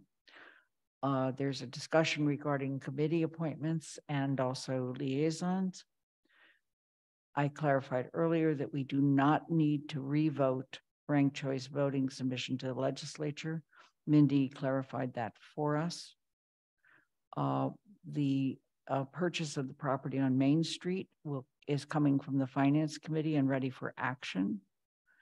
Uh, the fee or transfer of property might be ready for discussion. We'll see. Um, and the town, and there will be a recommendation from the Finance Committee regarding the park grant. And then, uh, obviously, the town manager's goals. And, uh, beyond that, are there any other comments, councilor comments at this time?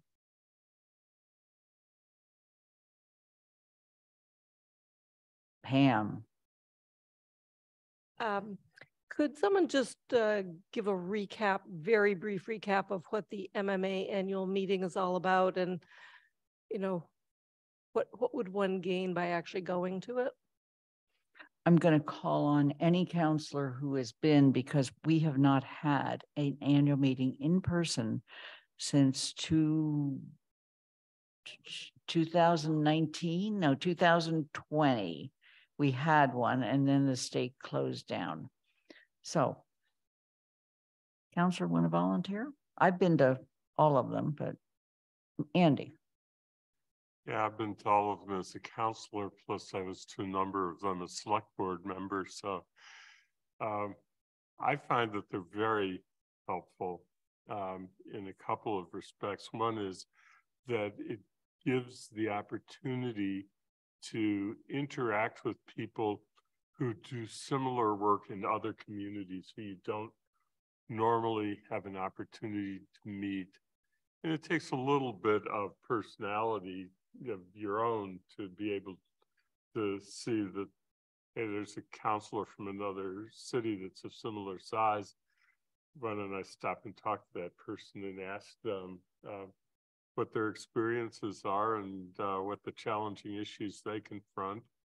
Um, there is a difference that we always have to remember, and that is that uh, there are few cities in Massachusetts that have town managers. Most of them have mayors, and the relationship between a mayor and a council is very different from our experience. So you do need to be careful of that. The other thing is, is that there's num that you should look at the announcement in the MMA, MMA website about the uh, sessions that are being offered because there are sessions that um, are uh, provided that uh, are put together by people who give a lot of thought to what they're going to present and um, have very good discussions. And it's the opportunity to really learn uh, about what other communities are doing and how it, um, how it's taking place. And I will recognize the fact that uh, my first exposure to composting as part of uh, collection was that um, there was an MMA session on it that I attended a number of years ago when I was on the select board. And it was uh, something that stuck. And uh, so you do learn things as to what's going on in other communities. Uh, and frankly, for most of us, if we go as a group, we end up getting together socially a little bit and see each other uh, in a non-meeting context, and that actually has a tremendous bonding capacity amongst the group that's mm. coming from here. So those are what I observe as the benefits of going. Mm-hmm. Dorothy? Well, Alyssa was the great guide the first conference. Oh, right. And um, she suggested come on Thursday night and um, so that you're able to register on Thursday and you're there for everything bright and early on Friday. Uh, where Friday morning is speeches, speeches, speeches. Then it's the women's lunch. And then it's very interesting, as Andy was saying, very interesting uh, workshops afterwards where you learn either other towns are doing the same things you are doing, or other towns have new and interesting ideas like turning old fire stations into theaters, which I'm still waiting and hoping to do. Um, so they, you know, just you kind of wait on that. Um, there are also um, speeches from the, the elected officials. There's business meetings. Um, oh, and one of the uh, workshops is on PFAS and how to deal with that problem. Um, there's also a, I forget what they call it, uh, where they, a part of the convention hall has all kinds of exhibits and you go around and you see things and meet people and you pick up interesting little things that you might be interested in using, which they, they give out free. Um, so it's a nice hotel. The Hynes um, Convention Center is convenient. And, um, you know, when I was there, totally immersed in the conference. And then if you want to see more of Boston, you do that afterwards. Um, this time I can't come Thursday night because I was just given a class which meets Monday, Wednesday, Friday, and the second class of the semester will be Friday morning. So we will teach that early morning class and then zip there and be there hopefully by the women's lunch. So I look forward to it and I hope it doesn't get canceled. Yeah, it did at the last minute last year. Mandi Jo. Um, Dorothy mentioned the vendor thing. One of the things I find valuable is being able to talk to the vendors. Um, you wouldn't think as a councilor that's nice, but vendors include not people necessarily selling the municipality stuff, but state agencies. So you can talk to the MSBA folks, you can talk to the MBLC folks, you can talk to our town attorneys and ask any questions you want, which is something I always hunt them out for. Um, you know, and so so just being able to have those conversations with entities that we're dealing with to ask them, you know, like for MBLC to ask them why this procedure or what can you do, then you can have that direct conversation with them. I've always found very helpful too.